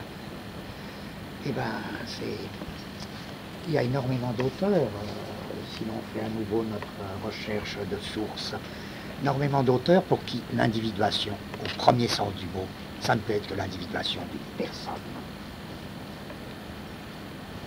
L'individuation, c'est celle d'une personne. Bon. Voilà un texte de Leibniz qui me revient à l'esprit. Il dit bien sûr, il y a toutes sortes d'emplois du mot un, une. Il fait une réflexion sur l'article indéfini. Il dit mais un, une, c'est une série de degrés hiérarchiques. Quand je dis une armée, c'est ce qu'il appelle un pur être de collection. C'est un abstrait. Quand je dis une pierre, c'est déjà plus individué. Selon la. Hein. Quand je dis une pierre, quand je dis une bête, un animal, c'est encore plus unifié, individué. Et il lance sa grande formule, être un, c'est être un. Vous voyez, être souligné un, c'est être, pas souligné, un souligné. Être un, c'est être un. Bon. Et on est d'autant plus qu'on est plus un. Ça revient à dire que ce qui est fondamentalement être, c'est la personne. Donc beaucoup d'auteurs ont pensé que le secret de l'individuation était du côté de la personne. Et finalement, ils diront que l'événement n'a d'individuation que ou bien par dérivation, ou bien par fiction. C'est une individuation fictive ou dérivée. Elle suppose des personnes. Encore une fois, il n'y a que les Anglais. C'est curieux cette histoire de génie des nations. Il n'y a que les Anglais qui n'ont jamais marché là-dedans. Moi, je crois que beaucoup d'auteurs anglais, au moins, passent, frôlent ça, cette idée que non, finalement, le secret de l'individuation, c'est pas la personne. Que la véritable individuation, c'est celle des événements. C'est une drôle d'idée, vous me direz, qu'est-ce qui justifie? On n'en est plus là. On est qu'est-ce qui vous va? Est-ce que, que ça vous dit quelque chose? Est-ce que ça vous parle? Qu'est-ce qu'ils veulent dire? Ils veulent dire que même les personnes, ils font la dérivation inverse. Ils disent que même les personnes sont individuées à la manière d'événements. Simplement, ça ne se voit pas. On a tellement de mauvaises habitudes. On se prend pour des personnes, mais on n'est pas des personnes. On est à notre manière des petits événements. Et si on est individué, c'est à la manière d'événements, c'est pas à la manière de personnes curieux, vous me direz, bon, mais il faudrait définir événement. Personne, non, moi je fais appel aux résonances que les choses ont. Euh, suivant ce que vous direz, la, définition d'événement va changer singulièrement. Qu'est-ce que c'est une bataille? Qu'est-ce que c'est un événement? Un événement, ah tiens, la mort, c'est quoi? C'est un événement? Et quel est le rapport de l'événement et de la personne? Une blessure, c'est un événement? Oui, si je suis blessé. Une blessure, c'est un événement. C'est l'expression de quelque chose qui m'arrive ou qui m'est arrivé. Bon, comment c'est individué une blessure?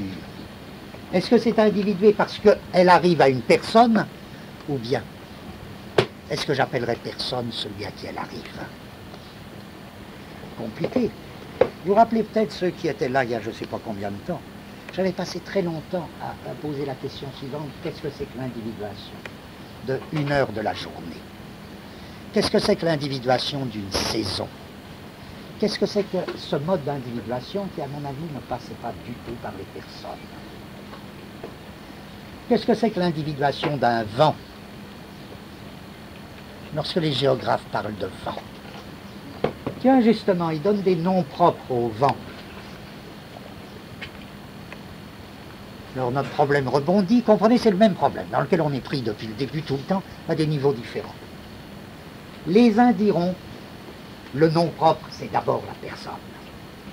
Et tous les autres usages du nom propre sont dérivés. Les autres, ils diront, et là, alors autant faire son choix, mais je, suis tellement euh, de cet autre côté que j'essaie de dire. non, vous savez, c'est pas comme ça. Ça a l'air d'être comme ça, d'accord, mais enfin, c'est pas la première fois que ça a l'air, etc. C'est pas ça, non. Hein, je crois vraiment que le premier usage du nom propre est que le, euh, le sens du nom propre, il se découvre en dérivation avec les événements. Ce qui a été fondamentalement, ou ce qui est fondamentalement indexé d'un nom propre, ce n'est pas des personnes, c'est des événements. Je veux dire, avant la personne, il y a évidemment, il y a toute cette région très très curieuse, parce que les individuations s'y font d'une toute autre manière. J'invoquais le, poème si beau de Lorca, Quelle terrible 5 heures du soir. Quelle terrible 5 heures du soir. Qu'est-ce que c'est cette individuation Dans les romans anglais, je vous demande juste de repérer ça, dans les romans anglais. Euh, je ne dis pas toujours, dans beaucoup, chez beaucoup de grands romanciers anglais, les personnages ne sont pas des personnages. Tiens, on retombe dans Blanchot. Avec heureusement, là, on le conforte et on se conforte avec lui. Parce que les romanciers anglais, ils n'en parlent pas. Donc, on a, nous, une autre source, peut-être pour donner raison à Blanchot. Mais euh, dans beaucoup de romans anglais, à beaucoup de moments, et surtout aux moments principaux, les personnages ne sont pas traités comme des personnes. Ils ne sont pas individués comme des personnes. Par exemple, les sœurs Brontë ont une espèce de génie. Elles ont une espèce de génie pour, surtout l'une, mais je ne sais plus laquelle c'est, alors je m'abstiens. Je crois que c'est Charlotte. Je crois que c'est Charlotte. Ne cesse pas de présenter ses personnages comme. C'est pas une personne, c'est absolument l'équivalent d'un vent c'est un vent qui passe. Ou Virginia Woolf, c'est un banc de poissons.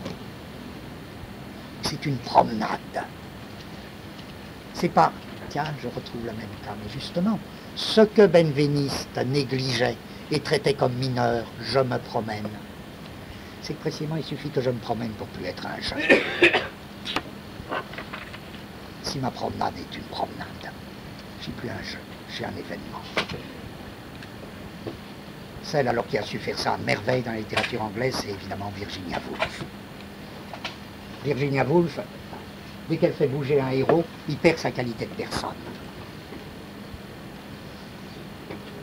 Grand exemple, euh, dans Virginia Woolf, la promenade de Mrs. Dalloway. Je ne dirai plus je suis ceci, cela, conclut Mrs. Dalloway. Je ne dirai plus je suis ceci, cela. plus je ne dirai plus je, j'ai un autre mode d'individuation. On c'est très curieux parce qu'il faut se méfier des trucs. On n'en a jamais fini. On se disait au besoin, ah ben il y a un vague choix entre quoi et quoi. Entre dire je et dire le néant. Ou dire je et dire, ou dire l'abîme indifférencié.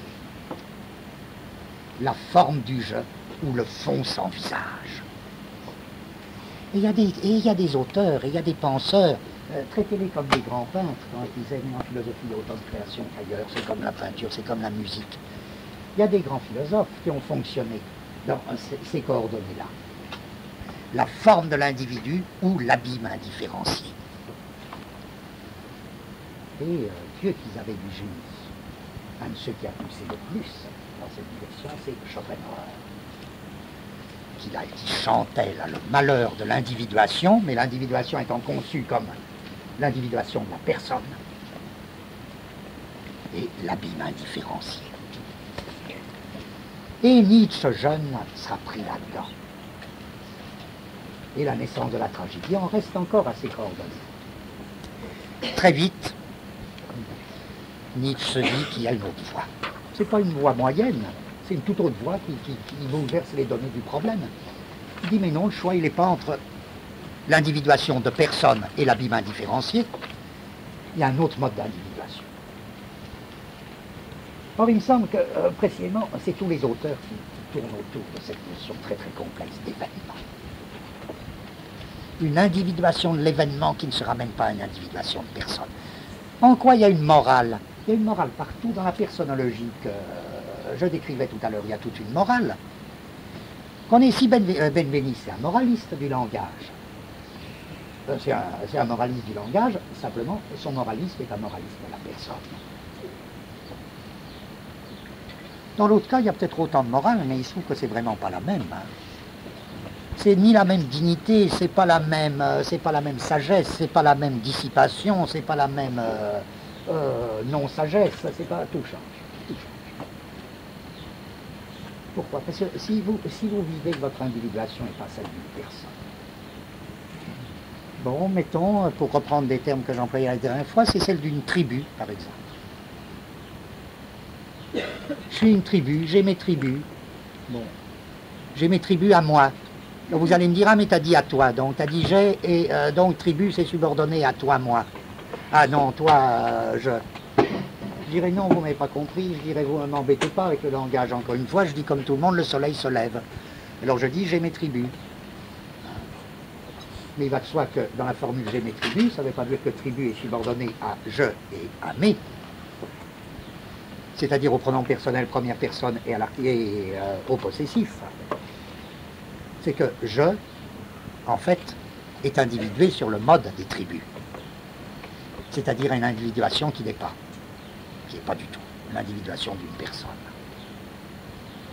Alors je dis, est-ce que ça change pas tout? Là aussi, la question est de savoir qui a raison.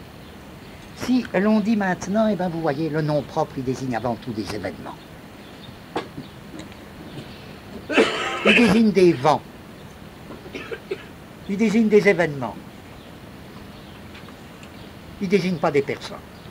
C'est seulement secondairement et en dernier lieu qu'il désigne des personnes. C'est-à-dire on fait de l'anti-benveniste, mais ce n'est pas pour contrarier benveniste. C'est parce qu'on tient un autre chemin.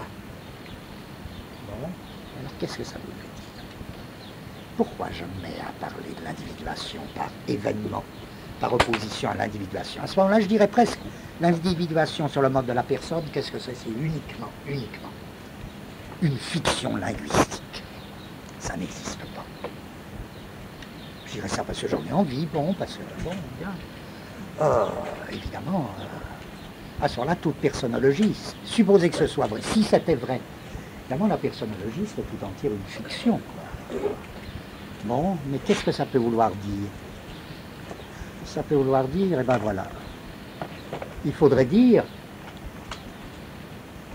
vous savez, dans l'événement, c'est une drôle de chose l'événement, parce que il faut distinguer comme dans l'événement à son tour, il faut distinguer deux choses. On n'en aura pas fini de pousser nos distinctions, hein, de la déplacer, les distinctions. Je suis blessé. Aïe, aïe, aïe, blessé, la blessure un couteau s'enfonce en moi.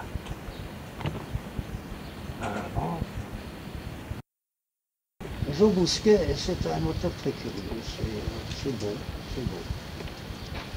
Euh, il a reçu une blessure par éclat d'obus euh, pendant la guerre de 14-18. Il en est sorti, il est mort il n'y a pas très très longtemps. Euh, il en est sorti paralysé, immobile. Il a vécu dans son lit, il a beaucoup écrit, tout ça. Il a écrit pas du tout sur lui, heureusement. Il a écrit sur quelque chose qu'il estimait, c'était ce qu'il avait à dire, ce qu'il estimait avoir à dire. Et voilà une phrase de Bousquet qui paraît bizarre. Il dit Ma blessure, ma blessure me préexistait. J'étais né pour l'incarner. Là, il y a beaucoup de choses. Qu'est-ce qu'il veut dire au Remarquez que seul quelqu'un de profondément malade ou profondément touché peut tenir une proposition qui serait odieuse dans toute autre bouche. Hein. Il faut bien que Bousquet ait son éclat d'obus, qu'il est paralysé complètement, pour pouvoir tenir une pareille proposition. La blessure me préexistait, ça paraît d'une espèce d'orgueil diabolique, quoi. Je suis né pour l'incarner. Euh, si, la phrase vous dit quelque chose, euh, alors suivra accepter cette méthode. Si la phrase vous dit rien, vous laissez tomber.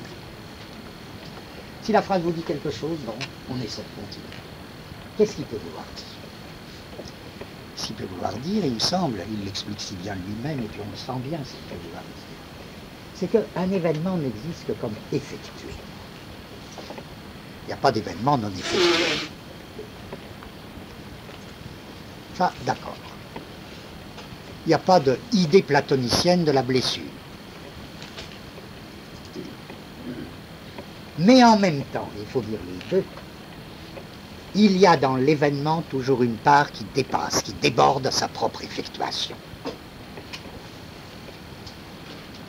En d'autres termes, un événement n'existe comme effectué dans quoi?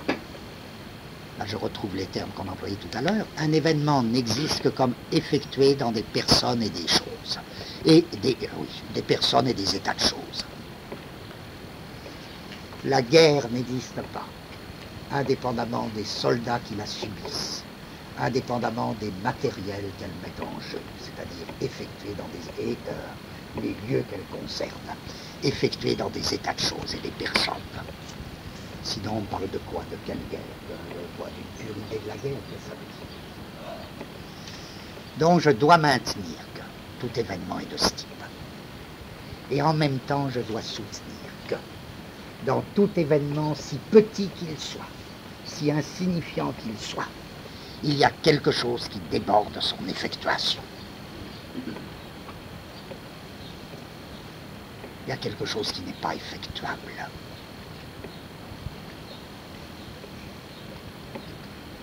Bon, là, je ne peux pas aller trop loin. Qu'est-ce que ce serait, ce quelque chose qui n'est pas effectuable?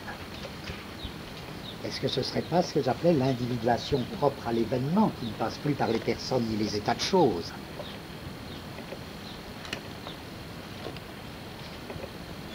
Dans un vent froid, voilà, dans un vent froid, si vous aimez le vent froid aussi, je ne sais pas. Il y a quelque chose, un vent froid n'existe pas en dehors de son effectuation dans quoi? Dans des états de choses, par exemple la température qui déclenche, qui l'entraîne, et dans des personnes, le froid éprouvé par des personnes, des animaux. Et pourtant, quelque chose me dit, peut-être, mais ce serait très légitime que certains d'entre vous me disent Ah ben moi, ça ne me dit rien du tout, ça. Quelque chose me dit qu'il n'y a pas de vent froid qui ne déborde cette part, qui pourtant lui est consubstantielle, cette part qui est celle de son effectuation. Et c'est là qu'il y a une espèce de, à la lettre, quel que soit l'événement qui nous arrive, qu'il y a quelque chose qu'il faut bien appeler la splendeur d'un événement il déborde toute effectuation. À la fois, il ne peut pas ne pas être effectué et il déborde sa propre effectuation. Comme s'il avait un en plus, un surcroît. Bon. Quelque chose qui déborde l'effectuation par les choses et dans les choses et par les personnes. C'est ça que j'appellerais la sphère la plus profonde de l'événement. Pas la plus profonde, le mot est mauvais puisque c'est plus un monde de la profondeur. Mais là j'emploie n'importe quel mot. Vous voyez où je vais en venir À ce moment-là, on comprend mieux des, phrases de, Bousquet. Comme il dit, le problème c'est être digne. Alors là, c'est toute sa morale à lui. Être digne de ce qui nous arrive. Quoi que ce soit qui nous arrive. Que ce soit bon ou mauvais, il y a presque pensé à, si, même si ceux qui savent un peu, à la morale stoïcienne. Elle prend une autre allure, la morale stoïcienne.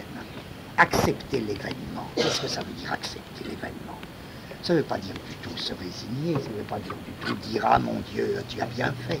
C'est pas ça du tout chez les stoïciens. Je crois qu'ils avaient une idée, c'est pas par hasard que les stoïciens, c'est chez les Grecs les premiers qui font une théorie de l'événement. Et qui la poussent très très loin, leur théorie de l'événement.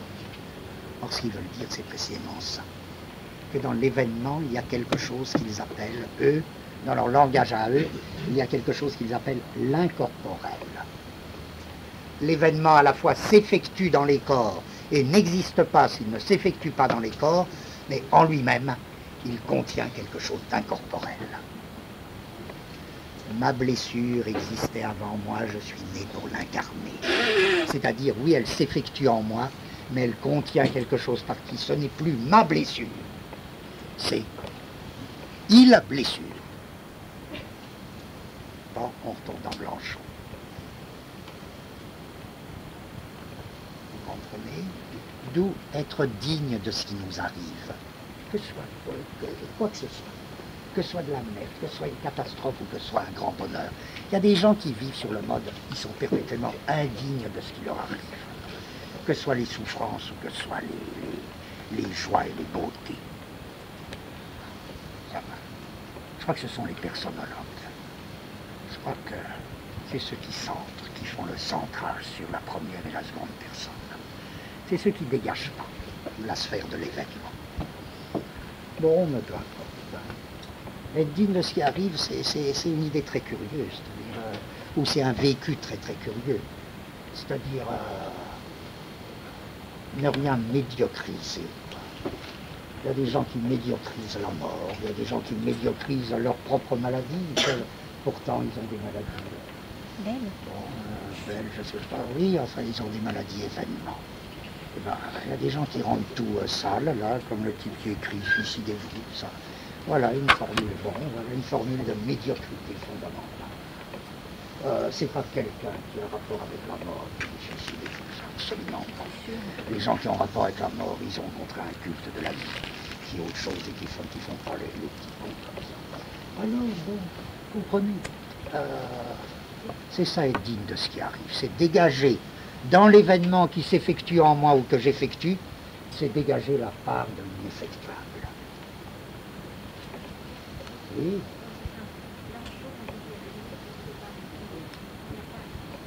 Blanchot l'a dit très fort pour la mort. Lorsqu'il parle du suicide, Blanchot dit, dans le suicide, il y a une opération qui fondamentalement est de mauvaise foi.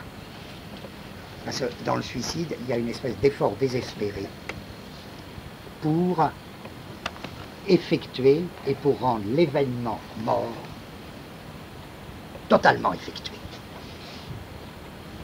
C'est-à-dire l'épuiser par une effectuation. Puisque Blanchot ne cesse pas de dire, vous ne pourrez jamais séparer deux morts la mort qui s'effectue en moi et dont je suis plus ou moins près, plus ou moins proche. Et ce qu'il y a d'ineffectuable dans la mort, et c'est ce qu'il y a d'ineffectuable dans la mort qui m'empêche de me tuer. Et là, il y a une espèce alors euh, de culte de la vie qui en effet alors ça n'empêche pas, en effet, si vous pensez aux cas de euthanasie, etc., ça rentre très bien, les cas d'euthanasie. Ça me paraît précisément le contraire de suicide. C'est d'une certaine manière le culte de la vie, quoi. C'est une espèce de, très grand, enfin, c'est trop compliqué. Oui? Euh, J'avais vu un film il y a très longtemps de Louis Malle, de Follet. C'est un très vieux film, hein, mais pas très bon d'ailleurs. Peu importe. Et à la fin, il se suicide. Mais en fait, il dit c'est positif le suicide. Il y a un suicide positif, il y a un suicide, comme, vous dites, qui est dégueulasse.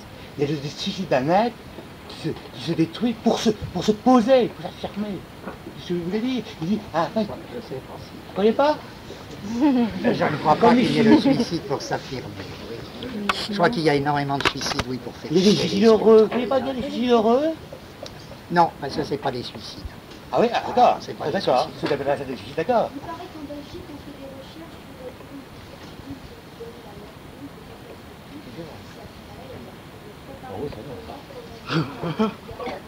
Bah, il y a des hôtels de luxe aux États-Unis. Il y a des hôtels de luxe aux États-Unis où on paye pour. Euh,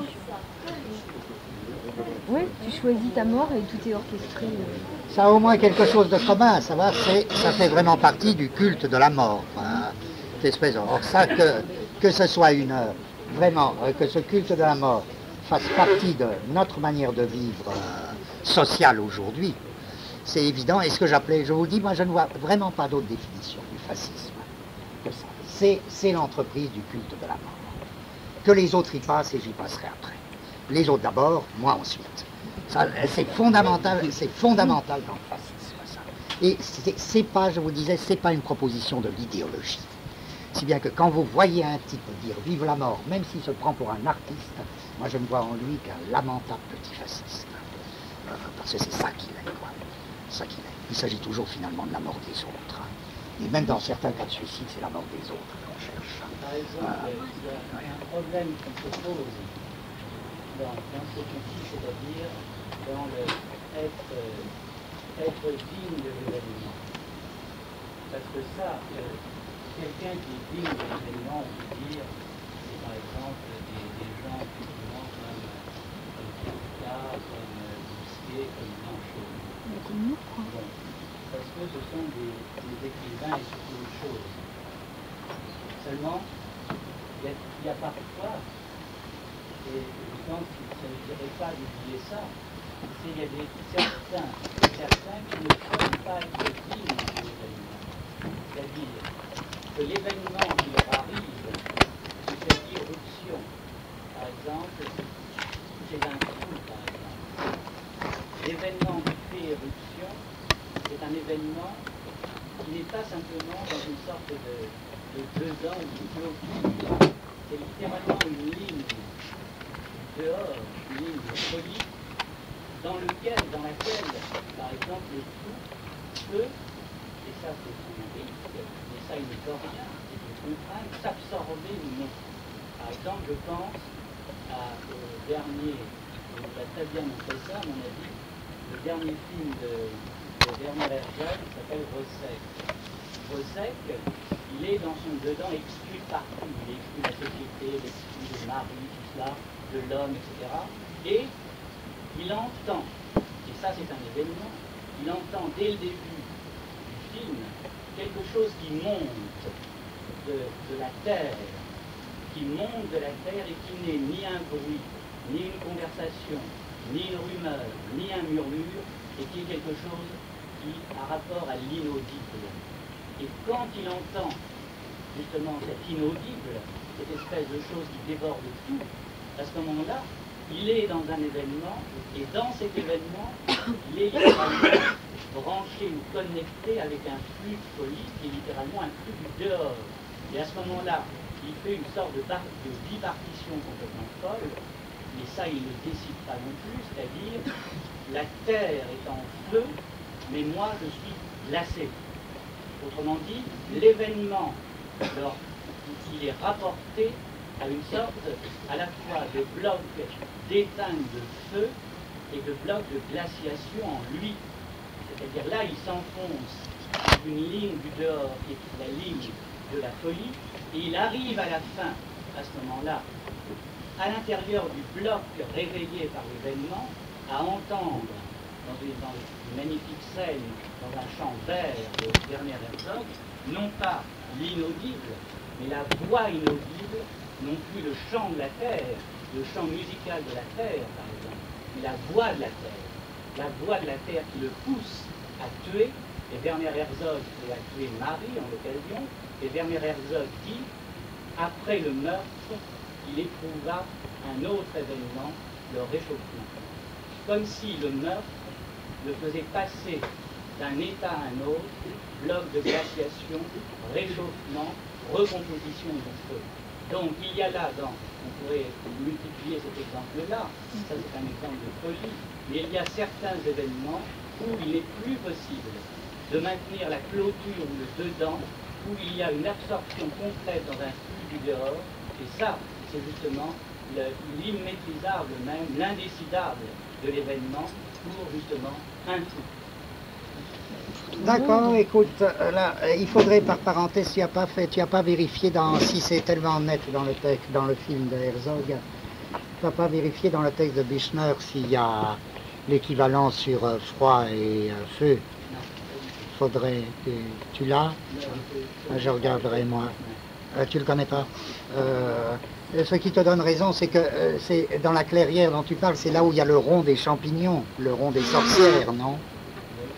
Dans le film, c'est repris la trace des champignons circulaires là que euh, Wojciech voit. C'est un très beau. Il parle des champignons, oui, oui, oui. Euh, finalement, ce que tu fais, il me semble, là je serais très en accord, sauf sur des points de détail, mais c'est pas la peine de. Euh, ce que tu fais, c'est presque la jonction de ce qu'on fait aujourd'hui et de ce qu'on faisait la dernière fois. Parce que là, ce que tu appelles l'événement de la folie, quand le type est complètement coincé, et peut être en effet saisi d'une, ou bien d'une, euh, d'une rage suicidaire, ou bien d'une rage euh, meurtrière. Euh, qu'est-ce qui se passe là? C'est vraiment ce que j'essayais d'analyser, il me semble, la dernière fois, sous la forme, euh, cette espèce de conversion, tout d'un coup, cette conversion, mais euh, abominable, terrifiante, de une ligne de fuite qui est embarrée se précipite en ligne de destruction. Alors ça, il me semble que la dernière fois, j'essayais de dire ce que là, tu essaies de dire euh, aujourd'hui, euh, à ton tour et avec ta manière à toi. Euh, oui Quoi?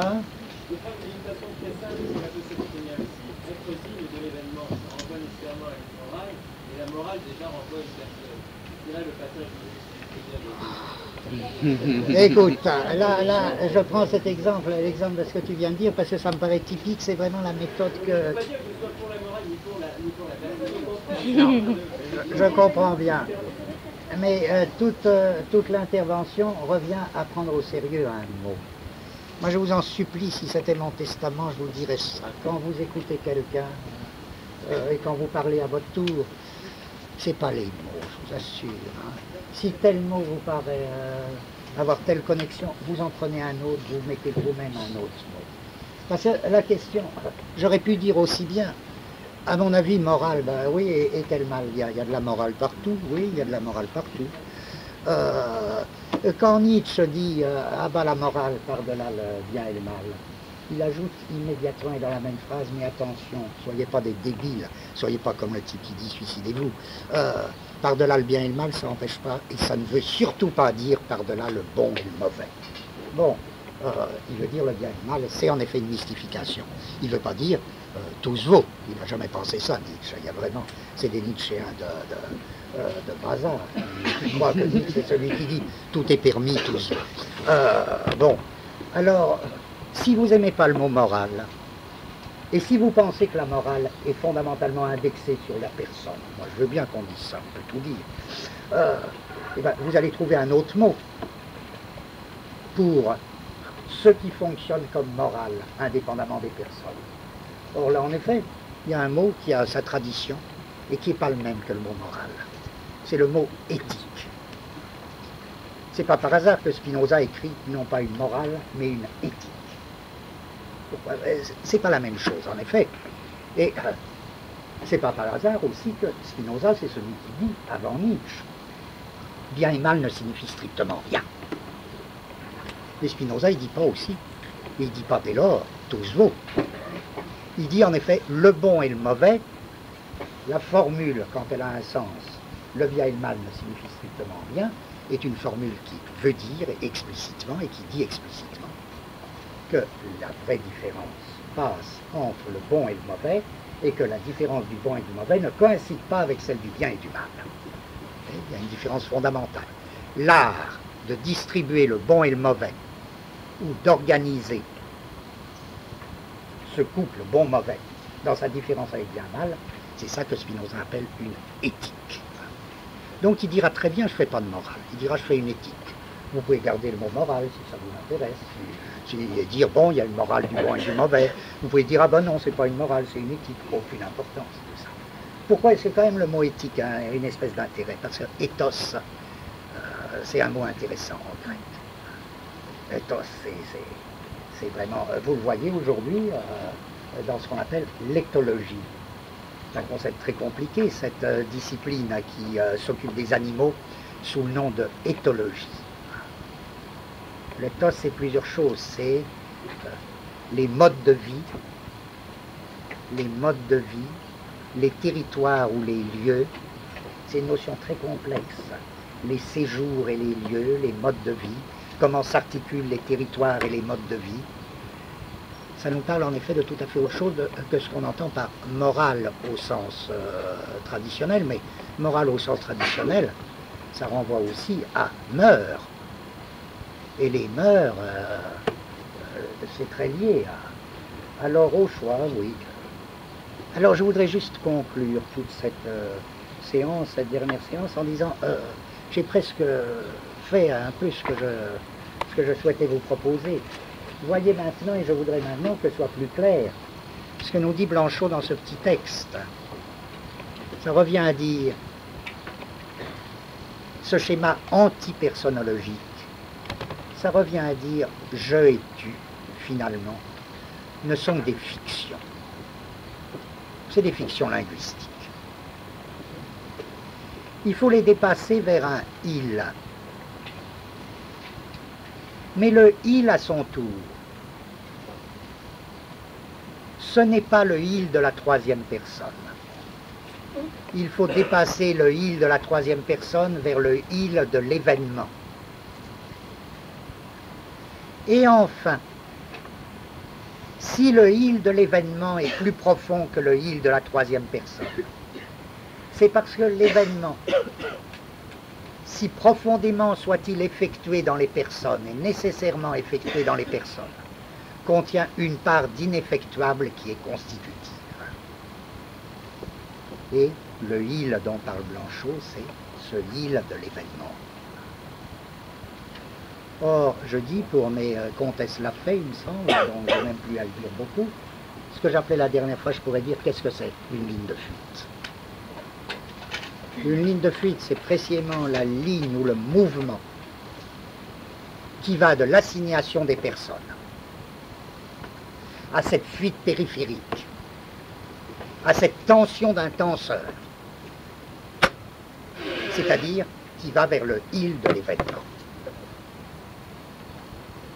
Et ça, c'est le caractère positif de la ligne de fuite.